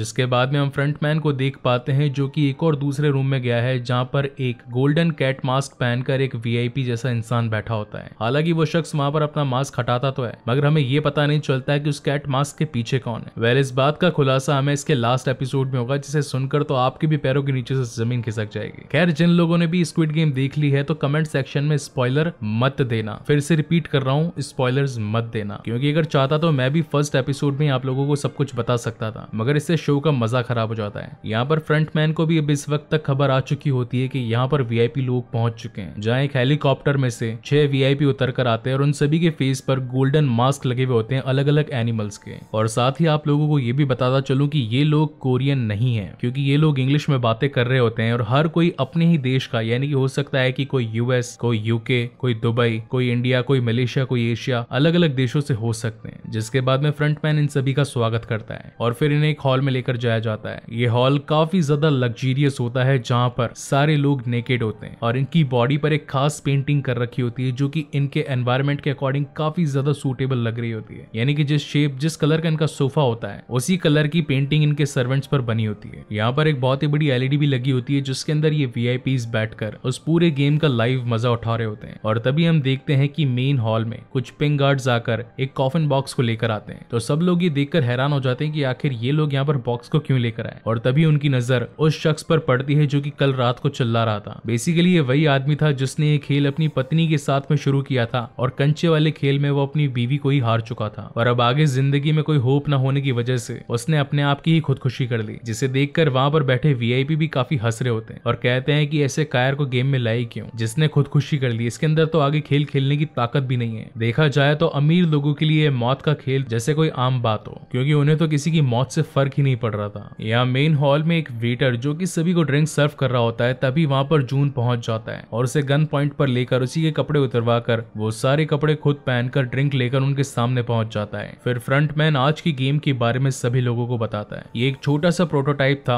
जो कि आज आज के होने वाले गेम को बताता है वहीं दूसरी तरफ अगेन सारे के सारे प्लेयर्स को उसी व्हाइट रूम में लेकर जाया जाता है जहाँ पर हम देख पाते हैं कि एक से लेकर सोलह तक के पुतले उनके सामने होते हैं जिन पर एक नंबर लगा होता है और अब सभी को एक नंबर चूज करने के लिए कह दिया होता है क्योंकि वहां पर अब इस वक्त तक सिर्फ और सिर्फ सोलह मेंबर्स ही बचे होते हैं जहां पर कुछ लोग तो आते ही बीच के नंबर उठा लेते हैं क्योंकि वो जानते थे कि अगर सबसे पहले गए और गेम के बारे में ना पता हुआ तो भी मरेंगे और अगर एंड में गए और अगर कोई टाइम लिमिट वाला गेम हुआ तो भी मरेंगे और ऐसा करते करते सारे के सारे नंबर्स गायब होने लगते हैं वहीं पर चालाक सांगू चौदह नंबर उठा लेता है और सीबीओ का आकर पंद्रह नंबर ले लेती है और लास्ट में सिर्फ दो नंबर बचते हैं नंबर वन और नंबर सिक्सटीन तो सियोंग सोचता है की क्यों ना मैं नंबर वन ले लू मगर फिर उसे याद आता है की अगर ये कोई टाइम लिमिट का गेम हुआ या फिर अगर उसे गेम नहीं पता तो वो सबसे पहले ही मारा जाएगा और तभी वहां पर पीछे से एक शख्स आ जाता है और उसे कहता है कि मैं जिंदगी में कभी भी फर्स्ट नहीं आया और आज मुझे मौका मिल रहा है तो मैं इस मौके को गवाना नहीं चाहता क्या तुम मुझे नंबर वन दे सकते हो और अब सियोंग अपना नंबर वन उसे देकर सिक्सटीन नंबर को चूज कर लेते हैं जहाँ दूसरी तरफ एलईडी e में सारी वी उन्हें देखकर हंस रहे हैं उनका मजाक उड़ा रहे हैं और पूरे सिनेरियो को बैठकर कर कर रहे हैं जिसके बाद में सीन शिफ्ट होता है एक्चुअल गेम लोकेशन पर जो की एक बहुत ही बड़े तंबू में बना होता है उसकी ऊंचाई काफी ज्यादा होती है वहीं पर हमें एक ग्लास का पुल भी दिखता है जिसे दो पार्ट्स में डिवाइड किया होता है इस गेम का नाम था स्टैपिंग स्टोन यहाँ पर इन्हें इस गेम के रूल बताए जाते हैं जिसके अंदर कहा जाता है कि ये टोटल 18 जोड़ियों की ग्लास से बनी दो पट्टियां मगर ग्लास भी दो तरीके के एक जो कि ये टेम्पर्ड ग्लास और एक जो की है नॉर्मल ग्लास टेम्पर्ड ग्लास दो लोगों की वजन को संभाल सकता है जबकि नॉर्मल ग्लास एक का भी वजन नहीं संभाल सकता इसलिए आपको बारी बारी से खुद की प्रोटेक्शन के साथ में इस पूरे पुल को पार करना है वेल इस पुल पर काफी ज्यादा मीम भी बने थे जिसके अंदर लोग ही कह रहे थे कि स्टील की पट्टी पर ही चल के उसे पार कर लेता लेकिन आप लोगों को बता दू की वहां पर बैठे गार्ड्स पागल नहीं है अगर कोई लोहे की पट्टियों पर चलकर भी आएगा तो गार्ड उसे वहीं पर जान से मार देंगे क्योंकि वो गद्दारी होती है और जैसा की इस गेम में बताया गया है की गद्दारी की कोई जगह नहीं है जिसके बाद बाद में गेम स्टार्ट होता है और हम देखते हैं कि जिसने नंबर वन लिया था अब उसी की बारी सबसे पहले थी हालांकि इसका पहला कदम तो टेम्पर्ड ग्लास पर पड़ता है मगर दूसरा कदम नॉर्मल ग्लास पर पड़ जाने की वजह से वो नीचे गिर मर जाता है जिसके बाद में और दूसरे प्लेयर्स की बारी आती है अब यहाँ पर गेम बिल्कुल सिंपल था जो भी गलत कांच पर कूदेगा वो गिर मर जाएगा यानी कि दूसरा जो बचा हुआ कांच है वो एग्जैक्ट टेम्पर्ड ग्लास है और अब धीरे धीरे करते करते सभी लोग आगे बढ़ते हैं जिनकी किस्मत होती है वो आगे तक जाते हैं और जिनका पैर गलती से नॉर्मल ग्लास पर पड़ जाता है तो वो वहीं पर मारे जाते हैं एंड सीरियसली गाइज इस सीन को देखकर तो मेरी खुद की भी सांसें ऊपर चढ़ गई थी क्योंकि ये पूरा गेम काफी ज्यादा क्रिटिकल और काफी ज्यादा इंटरेस्टिंग था हर सेकंड बस यही दिमाग में आ रहा था कि कहीं कोई गलत ग्लास पर पैर ना रख दे और ग्लास कहीं टूट ना जाए जिसके बाद में बारी आती है जैंग की मगर वो वहीं पर बीच में रुक जाता है और कहता है कि तुम लोगों के लिए मैं अपनी जान क्यों गवाऊं जिसे भी जाना है यहाँ से आगे जाकर पहुंच सकता है मगर मैं यहाँ से नहीं लूंगा तो वहां पर हान आती है तो जैंग कहता है कि तुझे अगर मरने का शौक है तो आगे जा सकती है हान कहती है कि मैं इतनी भी पागल नहीं और वैसे भी मैंने तो तुझे कहा था कि अगर मरूंगी तो तेरे साथ मरूंगी और तभी वो एक चाल खेल जाती है और जोरदार ग्रिप बना लेती है जैंग पर जिसके बाद तो ये दोनों ही पास वाले ग्लास पर गिरते हैं और वो नॉर्मल ग्लास होने की वजह से वहीं पर टूट जाता है और इन दोनों की वहीं पर मौत हो जाती है और अब गेम के अंदर सिर्फ और सिर्फ चार लोग ही बचे थे सियोंग सिबियोक सांगू और एक कोई दूसरा शख्स मगर वो शख्स आगे बढ़ते हुए कहता है कि मैंने सोलह साल तक एक ग्लास फैक्ट्री में काम किया है मैं नॉर्मल ग्लास और टेम्पर्ड ग्लास में फर्क बता सकता हूँ हूँ अगर टेम्पर्ड ग्लास को थोड़ी गहराई से देखो तो उसमें कुछ दाग दिखाई पड़ते हैं इसलिए वो शख्स झुक झुक कर सारे ग्लासेस को चेक करता हुआ टेम्पर्ड ग्लास पर पैर रखकर आगे बढ़ता जाता है हालांकि इस बात की खबर वी और साथ ही फ्रंटमैन को भी चल जाती है और कहीं गेम में गद्दारी ना हो जाए इस वजह से वो वहाँ की लाइटिंग्स को बंद कर देते हैं जिससे की उस शख्स को उस ग्लास के अंदर फर्क पहचानना मुश्किल पड़ जाता है तो अब हर कोई डर जाता है तो वह शख्स कहता है की आवाज के अकॉर्डिंग भी हम पता लगा सकते हैं की कौन सा नॉर्मल है और कौन सा टेम्पर्ड तो सियांग अपने जेब में से एक कंचा जो की उसके पास में फाइनली बचा था वो उस आगे वाले शख्स को दे देता है अब जैसे ही वो कंचा पटकता है तो उसे लगता है की आवाज का वो फर्क पहचान नहीं पाया उसे दूसरे ग्लास पर भी कंचा पटक कर देखना होगा मगर इस वक्त तक तो सियांग के पास में दूसरा कोई कंचा था ही नहीं और टाइम लिमिट भी धीरे धीरे खत्म हो रही थी तो जबरदस्ती से सांगू वहां पर आकर उस शख्स को सामने वाले ग्लास पर पटक देता है जो की नॉर्मल ग्लास था और वहीं से वो आगे बढ़ जाता है हालांकि सांगू ने गलत किया था मगर अब जैसा की टाइम लिमिट खत्म होने ही वाली थी तो सिबियोग और साथ ही सियोंग भी अब अपने आप को वहां से बचाकर पुल के फाइनल फाइनल पॉइंट पर पहुंच जाते हैं और अब देखते ही देखते उनकी आंखों के सामने जितने भी ग्लासेस बचे हुए थे उन सभी में माइक्रो बॉम्ब लगे थे जो कि समय के खत्म होने के साथ ही फट जाते हैं और जैसे ही सारे ग्लास फटते हैं तो उसके कुछ टुकड़े आकर इन सभी को लगते हैं वहीं दूसरी ओर हम देख पाते हैं कि जून जो कि सभी वीआईपीज को ड्रिंक सर्व कर रहा था तो वहीं पर एक वीआईपी की नजर उस पर पड़ जाती है और वो उसे अपने साथ ही बैठे रहने को कहता है तो जून कहता है कि सर मुझे बाकी और वीआईपीज को भी सर्व करना है मैं यहाँ पर नहीं बैठ सकता तो वीआईपी बाकी सभी मेंबर से पूछता है कि अगर ये मेरे पास बैठा रहे तो आपको कोई आपत्ति है तो लोग कहते हैं हमें तो कोई आपत्ति नहीं है तुम चाहे तो इसके मजे ले सकते हो जिसके बाद में वो वी कहता है कि तुम मेरे साथ में चलो मुझे तुम्हें देखना है तुम्हारी आइस काफी ज्यादा प्यारी है तो जून उस वी को उसी के रूम में लेकर जाता है जहाँ पर वी उसे कहता है I am giving you five minute to satisfy me अगर तुमने मुझे पांच मिनटों के अंदर सेटिस्फाई कर दिया तो मैं तुम्हारी जिंदगी बदल दूंगा मगर तभी जून उसके गोटे पकड़ लेता है और कहता है अब मैं तुझे पांच मिनट देता हूँ सेटिस्फाई मी बता मुझे कि तू इस गेम के बारे में क्या क्या जानता है यहाँ इस तरफ फ्रंट मैन जब उस वीआईपी को नहीं पाता तो वह अपने लोगों को सारे वीआईपीज के रूम चेक करने के लिए भेजता है और तभी उसे पता चलता है कि वीआईपी तो यहाँ पर बेहोश पड़ा है जिसके बाद में तो फ्रंट मैन को ये बात का पता चल जाता है कि जरूर कोई शख्स यहाँ पर अभी तक मौजूद है इसलिए वो अपने एग्जिट पॉइंट को चेक करने लगता है और तभी उसे पता चलता है की एक जना भी यहाँ से भागा है और वो कोई और नहीं था जो कि एक पुलिस वाला था यहाँ पर अब फ्रंट मैन भी अपने सभी लोगों के साथ में उस मेन आइलैंड से बाहर निकल जाता है और इसी तगड़े सस्पेंस के साथ में ये शानदार एपिसोड भी यहीं पर खत्म होता है आज हम इसके season one and episode eight के बारे में बात करेंगे जिसकी शुरुआत में हम देख पाते हैं जून को जो कि उस वक्त तक आइलैंड से निकलकर अपने एक ऑक्सीजन सिलेंडर के साथ में नदी को पार करता हुआ एक दूसरे आइलैंड तक पहुंच चुका होता है यहाँ पर आते के साथ ही जून अपने फोन को स्टार्ट करता है और सारे के सारे मैसेजेस और वीडियोज और साथ ही फोटोज जो उसने वहां पर क्लिक करी होती है उन्हें भेजने की कोशिश करता है अपने पुलिस हेडक्वार्टर में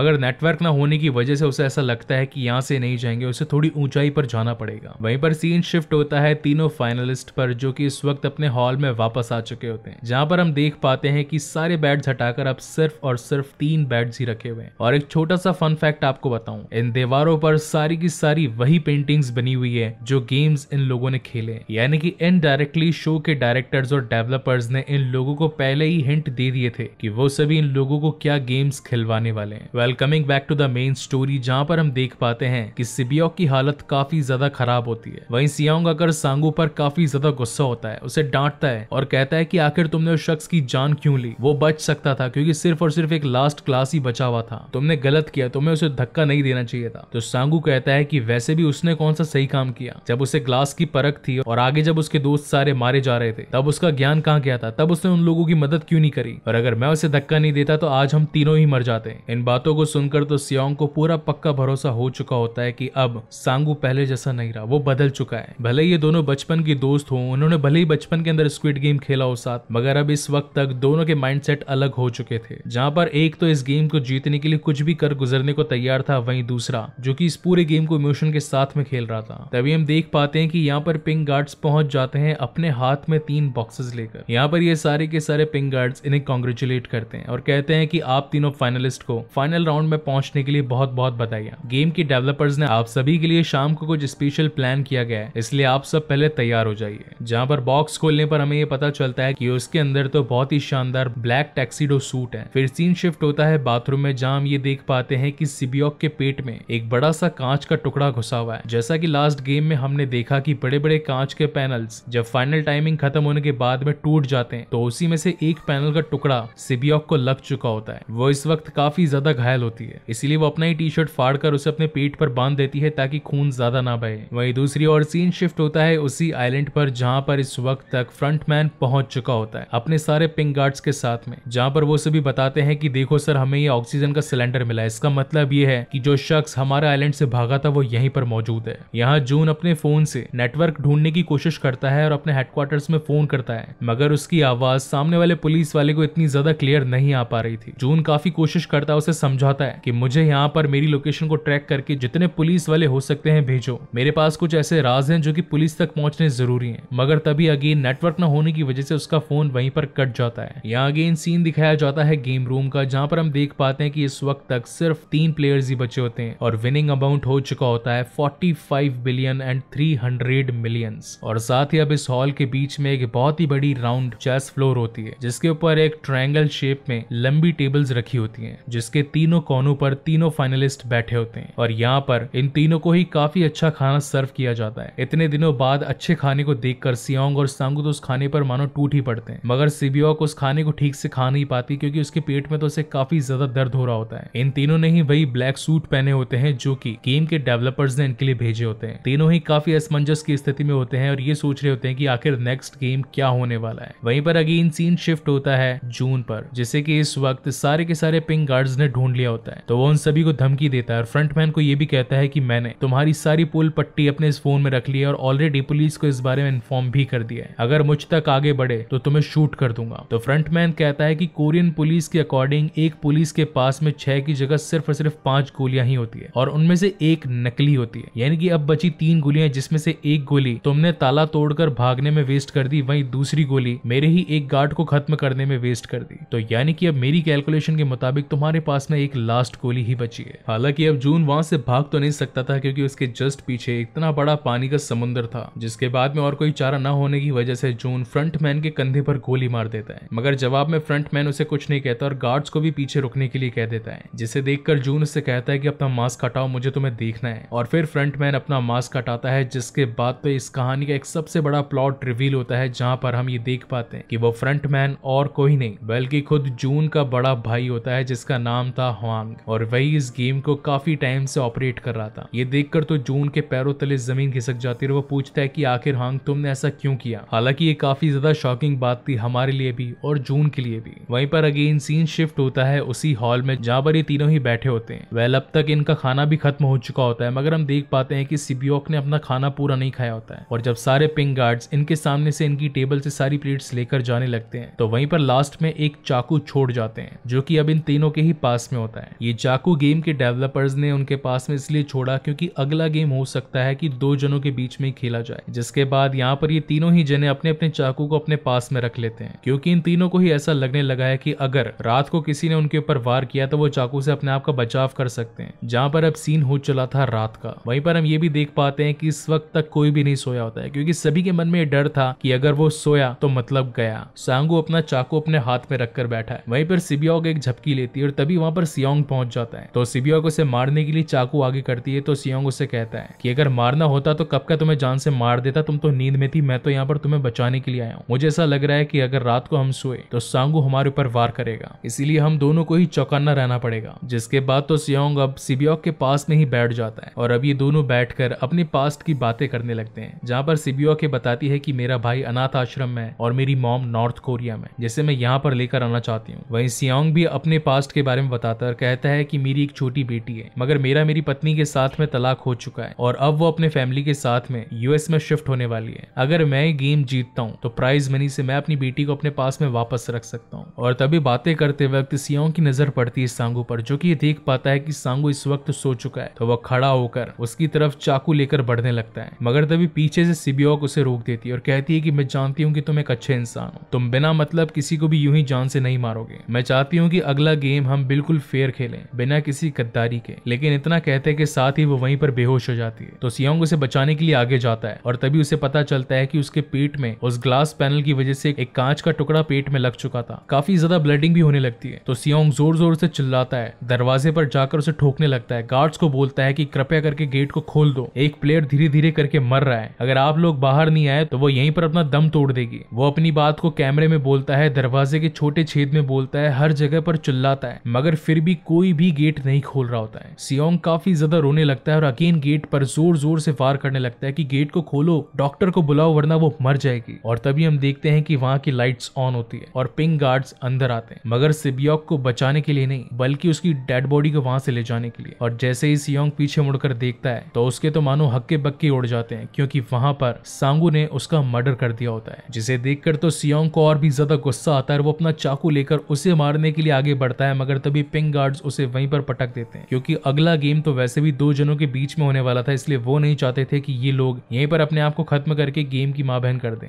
जिसके बाद में सीन शिफ्ट होता है अगेन जून और साथ ही हुआंग पर अब जैसा कि रूल्स थे कि कोई भी अपनी शक्ल नहीं दिखा सकता तो अब होता तो वो फ्रंट मैन है यानी कि उसके ऊपर तो अब कोई ऑर्डर देने वाला था नहीं इसलिए वो अपने छोटे भाई को ही कंधे पर गोली मार देता है और जून वही से नीचे गिर जाता है और इसी तगड़े सस्पेंस के साथ में ये शानदार एपिसोड भी यहीं पर खत्म होता है आज हम इसके season one and episode nine या फिर कह सकते हैं कि इसके फिनाले के बारे में बात करेंगे और पर्सनली कहूं तो आज मुझे आपको इस शानदार शानदार वेब सीरीज के साथ में अलविदा करना पड़ेगा क्योंकि ये इस सीजन वन का लास्ट एपिसोड है और इस एपिसोड की शुरुआत करने से पहले एज ऑलवेज अगर आपने मेरे एक से लेकर आठ तक के सभी पार्ट्स को नहीं देखा तो आपको उन सभी वीडियोस का लिंक इस वीडियो के डिस्क्रिप्शन में मिल जाएगा वहां से भी जाकर उन वीडियोस का चेकआउट कर सकते हैं और लास्ट वीडियोस में जिन लोगों ने भी कमेंट्स किया है आई होप कि आप सभी को हार्ट्स मिल चुके होंगे और जिन लोगों को नहीं पता तो बता देता हूँ की आजकल मैं करीब डेली पांच से छह हजार कमेंटर्स को हार्ट दे रहा हूँ जिनको मिल गए हैं उन्होंने तो मुझे इंस्टा पर स्टोरी में टैग भी किया है और जिनको नहीं मिले हैं अभी तक तो इस वीडियो के कमेंट सेक्शन में एक अच्छा सा कमेंट और साथ ही दूसरे वीडियोस के नीचे भी कमेंट जरूर कीजिएगा आप सभी को भी मेरी तरफ से हार्ट जरूर मिलेगा जब मैं भी एक आपकी तरह ऑडियंस हुआ करता था तो लोगों के वीडियोज के नीचे कमेंट किया करता था और जब मुझे कोई हार्ट मिलता था तो पर्सनली काफी ज्यादा खुशी होती थी तो वही खुशी मैं आपके चेहरों पर भी देखना चाहता हूँ इसलिए don't forget to comment on this video and my another videos also so now without wasting time चलिए आते हैं इस कहानी की मेन स्टोरी लाइन की तरफ तरफ जिसकी शुरुआत में हम देख पाते हैं सियोंग और साथ ही सांगू को जो कि आपस में बचपन के काफी अच्छे दोस्त हुआ करते थे और अब इन्हें फाइनल गेम के लिए रेडी किया जा रहा होता है जहाँ पर दरवाजा खुलने के बाद में हम उसी मैदान को देख पाते हैं जहाँ पर इन सभी चार प्लेयर्स ने अपना फर्स्ट गेम यानी कि रेड लाइट ग्रीन लाइट खेला था और आज जो कि इनका फाइनल गेम होने वाला है वो कोई और नहीं बल्कि बचपन में खेला गया वही स्क्विड गेम ही होता है इस गेम के रेफरेंस के लिए मैं आपको पहले एपिसोड के कुछ क्लिप्स दिखा दिखा देता हूँ ताकि आपको इस गेम से रिलेटेड जो भी डाउट्स हो वो थोड़ी बहुत तो क्लियर हो ही जाए बेसिकली स्क्विड गेम कोरिया में खेला जाने वाला एक खेल है और इसे स्क्विड इसलिए कहा जाता है क्योंकि इसके शेप्स भी स्क्विड के जैसे ही होते हैं कुछ सर्कल कुछ रेक्टेंगल और साथ ही कुछ ट्राइंगल इस खेल के अंदर दो पार्टीज होती है डिफेंस और ऑफेंस जहाँ पर डिफेंस वाला लाइन के अंदर घूमता है और ऑफेंस वाला लाइन के बाहर लेकिन कैसे भी करके नजर चुराकर ऑफेंस वाला लाइन के अंदर भी आ सकता है इनका फाइनल टास्क होता है कि इनको स्क्विड के अंदर बने एक सर्कल में पहुंचना होता है होता है जहां पर पहुंचने से पहले डिफेंस वाली टीम इन्हें रोकने की कोशिश भी करती है अगर ऑफेंस की टीम में से कोई भी एक लड़का अगर सर्कल में पहले पहुंच जाता है तो उनकी टीम जीत जाती है जहाँ एक तरफ तो ये दोनों ग्राउंड में स्क्विड गेम की शुरुआत कर चुके होते हैं वहीं ऊपर से सारे वी इन दोनों पर ही नजर रख रखे होते हैं इन सभी के बीच में आपस में शर्तें लगी होती है कि इन दोनों में से कौन जीतेगा कुछ तो सांगू के साथ में होते हैं वहीं पर कुछ सियांग के साथ में भी होते हैं गेम के रूल्स बिल्कुल साफ थे जो भी इस गेम को जीतेगा उसे मिलेगा एक बहुत ही बड़ा प्राइज दुश्मनी मगर जो हारेगा यानी कि उसे अपनी जान देनी पड़ेगी इसका मतलब ये था कि दोनों को आपस में जीतने के लिए एक दूसरे की जान तो लेनी ही पड़ेगी जहाँ पर अब देखते ही देखते गेम के अंदर अब इन दोनों की काफी बड़ी लड़ाई हो जाती है और इनके पास में जो चाकू पड़ा था ये दोनों ही अब एक दूसरे पर वार कर देते हैं अब हालांकि सांगू उससे ज्यादा ताकतवर था इसलिए हमें ऐसा लगता है कि लड़ाई को जीत रहा है मगर सियांग के मन में ये गुस्सा भरा था कि उसने सिबियोक को जान से क्यों मारा और कुछ ऐसे लोग जो कि गेम में आगे बढ़ सकते थे उन्हें भी सांगू ने जान से मरवा दिया इसलिए वो जुन जुनून वो खौफ वो गुस्सा सियोंग पर हावी हो जाता है और वो सांगू को वहीं पर मात दे देता है इस वक्त तक सांगू जमीन पर पड़ा होता है और सियोंग चाकू लेकर उसे जस्ट मारने ही वाला होता है देखा जाए तो व्यूअर्स के सामने अब सियोंग जीत चुका होता है इस गेम को मगर फिर भी सियोंग बीच में गेम को रोक कर सभी वीआईपीज और फ्रंटमैन को ये कहता है की हम दोनों अपनी आपसी सहमति के साथ में अगर इस गेम को रुकवाना चाहते हैं तो ये गेम यहीं पर रुक जाएगा वेल इस बात को सुनकर वीआईपीज काफी ज्यादा शौक हो जाते हैं क्योंकि उन्हें तो ये लग रहा था कि हमारे सामने जस्ट एक फाइनलिस्ट आने वाला वाला है जो की एक बड़ी धनराशि का हकदार होगा और आखिर ये इस गेम को रुकवाना क्यों चाहता है सियोंग यहाँ पर सांगू से कहता है की याद है तुम्हें हम बचपन में किस तरीके से स्क्विड गेम खेला करते थे और खेलने के बाद जब थक जाया करते थे तो हमारी मोम हमें खाने के लिए बुलाया करती थी वो दिन वापस से आ सकते हैं सांगू क्यों ना हम दोनों ही हमारी मेजोरिटी के साथ में इस गेम को यहीं पर रुकवा दें हालांकि हमें मिलेगा तो कुछ नहीं मगर मैं अपने दोस्त को वापस से घर तो लेकर जा पाऊंगा क्योंकि अब इस वक्त तक सांगू को भी ये लग रहा था कि जीते हुए पैसों का वो क्या करेगा क्योंकि ये पैसे तो उसने लोगों को मार कर कमाए हैं इसीलिए वो इस पैसों को छोड़कर अपने दोस्त को अपने साथ ले जाने के बारे में सोच रहा होता है जिसके बाद में सियोंग वापस से सांगू के पास में आता है कहता है कि तुम मुझे अपना वोट दोगे मगर सांगू तो वोट देने की बजाय खुद ही उस चाकू को अपनी गर्दन पर घुमाकर अपने आप की जान दे देता है क्योंकि सांगू जानता था कि जब तक इस गेम में कोई मरेगा नहीं तब तक विनिंग प्राइज किसी विनर को मिलेगा नहीं और अब इतनी दूर आकर इस प्राइज मनी को छोड़ना बेवकूफी ही कहलाएगी जहाँ पर इस वक्त अब इस पूरे गेम का लास्ट कंटेंडर बचा होता है सियोंग की और टोटल प्राइज मनी यानी यानी कि 45 बिलियन 600 मिलियन वो जो स्पिगी बैंक में भरे पड़े थे उसे भी अब नीचे उतार दिया जाता है जिसके बाद में एक सीन शिफ्ट होता है कार में जहाँ पर हम फ्रंटमैन और साथ ही सियोंग को देख पाते हैं इस वक्त सियोंग की आंखों पर पट्टी बंधी होती है और फ्रंटमैन ने मास्क भी हटा रखा होता है जहाँ पर वो उसे कॉन्ग्रेचुलेट करता है और कहता है कि इस गेम को जीत कर तुमने एक नया मुकाम हासिल किया है तो सियोंग उससे कहता है कि क्या अगर मेरी जगह तुम होते तो क्या तुम भी ये सब कुछ करते लेकिन हम व्यूअर्स को तो ऑलरेडी पता है कि हांग वही शख्स था जिसने 2016 2016 में स्क्विड गेम का ये खेल जीता था वेल यहाँ पर फ्रंटमैन उसे वहीं पर रोड पर पटक कर चला जाता है जहाँ पर हम देख पाते हैं कि सियोंग के मुंह में क्रेडिट कार्ड पड़ा होता है उसके पास में घर जाने के पैसे नहीं होते हैं इसलिए वो सोचता है कि अपने अकाउंट से दस हजार वॉन निकाल ले यहाँ पर हम देख पाते हैं कि उसके एटीएम का नंबर भी जीरो फोर फाइव सिक्स ही होता है और जब वो अपने अकाउंट से दस हजार वॉन निकालता है तो बाकी राशि बचती है total forty five billion five hundred and ninety nine million nine hundred and ninety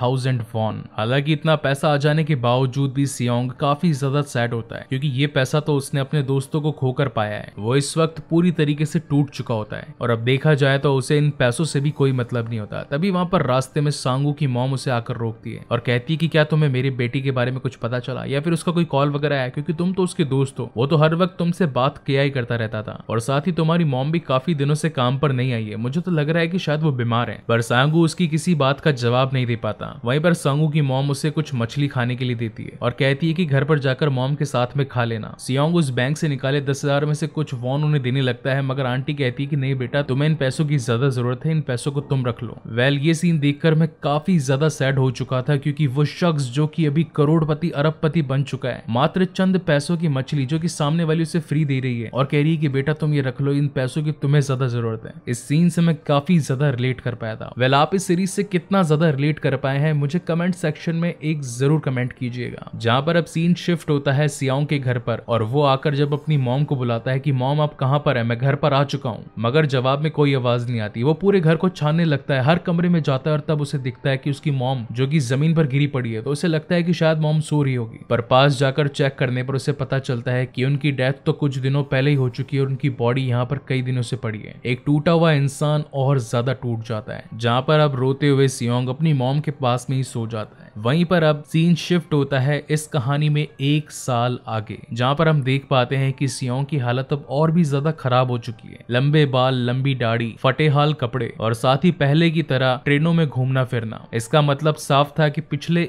एक सालों में सियोंग ने अपने जीती हुई धनराशि में से एक वॉन का भी यूज नहीं किया इस पूरे एक साल में उसने जितना भी कुछ कमाया या फिर अपनी लाइफ को जिया वो सब उसने खुद के बलबूते पर कमाकर अपनी लाइफ को स्पेंड किया वहीं पर हम देख पाते हैं कि जिस सफर को सियोंग तय कर रहा था था वो एक बैंक इन्वेस्टर का घर होता है जहाँ पर वो बैंक इन्वेस्टर सियांग से कहता है कि सर आप यहाँ पर आए हैं हम आपके काफी शुक्रगुजार हैं वेल अगर आप चाहते तो हम गाड़ी आपके घर पर भी भिजवा सकते थे मगर सियांग को तो उसकी बातों में कुछ इंटरेस्ट ही नहीं था वो इन्वेस्टर कहता है कि सर आपने हमारे बैंक में इतने सारे रुपए जमा करवाए हैं वेल मेरे पास में कुछ स्कीम्स भी अगर आप चाहें तो उनमें अपना पैसा डाल सकते हैं लेकिन अब जैसा की सियांग को तो पैसों से कुछ मतलब ही नहीं होता इसलिए वो उसकी किसी बात का रिप्लाई नहीं करता और वहां से जाने लगता है मगर जाते वक्त वो उस इन्वेस्टर को कहता है कि क्या मुझे दस हजार वॉन मिल सकते हैं उधार इन्वेस्टर ये सोचकर हैरान हो जाता है कि इतना अरब पति खरब पति इंसान मुझसे दस हजार मांग रहा है पर वो भी बिना कुछ सोचे उसे वो दस हजार दे देता है वेल वहां से निकल जाने के बाद में सियोंग उन पैसों की थोड़ी सी ड्रिंक करने लगता है और एक ब्रिज के नीचे बैठा होता है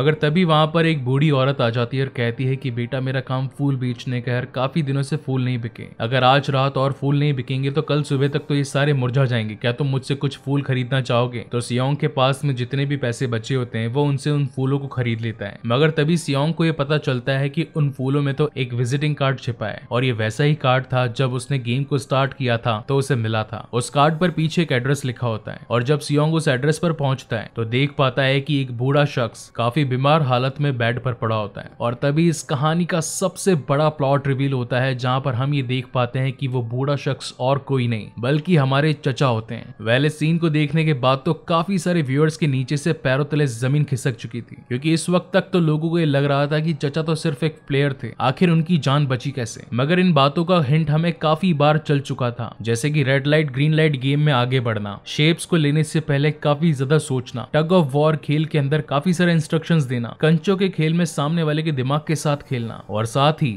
इंटरनल फाइट के वक्त ऊंची जगह पर चढ़ जाना ये सब कुछ चचा की ही प्लानिंग थी सियोंग उन्हें धमकाता उनसे पूछता है कि आखिर आपने ऐसा क्यों किया इतने सारे लोग जान से मारे गए क्या आपको उनकी जान लेने में मजा आता है जवाब तो आखिर आपने ऐसा क्यों किया वहीं चचा की नजर नीचे जमीन पर पड़े एक भिखारी पर जाती है और चचा कहते हैं कि चलो एक गेम खेलते हैं अभी साढ़े ग्यारह बज रही है और बारह बजे तक अगर उस भिखारी को मदद नहीं मिली तो मैं जीता और अगर मिल गई तो समझ लेना तुम जीत गए जिसके बाद में उस आधे घंटे की टाइमिंग स्टार्ट हो जाती है यहाँ पर सियोंग भी जमीन पर पड़े उस आदमी को देख रहा होता है जहाँ पर कई सारे लोग आते हैं मगर उसकी मदद नहीं करते फिर चचा उसे एक बात कहते हैं कि सियोंग क्या तुम जानते हो कि एक बहुत ही गरीब और एक अल्ट्रा रिच यानी कि बहुत बहुत ही अमीर आदमी में क्या फर्क होता है उन दोनों में ही एक चीज कॉमन होती है जो कि होता है इंटरेस्ट का खत्म हो जाना गरीब आदमी के पास में पैसा न होने की वजह से उसके सारे इंटरेस्ट खत्म हो जाते हैं और अमीर आदमी के पास में इतना पैसा होता है कि वो अपनी जिंदगी के सारे मौज और शौक पूरे कर चुका होता है तो अब उसे ज्यादा इंटरेस्ट ही नहीं आता और यही कॉमन चीज इस गेम को जाकर करती है इस खेल को गरीब लोग पैसों के लिए खेलते हैं वहीं पर अमीर लोग अपने शौक के लिए उन्हें देखते हैं तो सियोंग कहता है सिर्फ मजे के लिए यहाँ पर आपने इतने लोगों को कुर्बान कर दिया ये आपने सही नहीं किया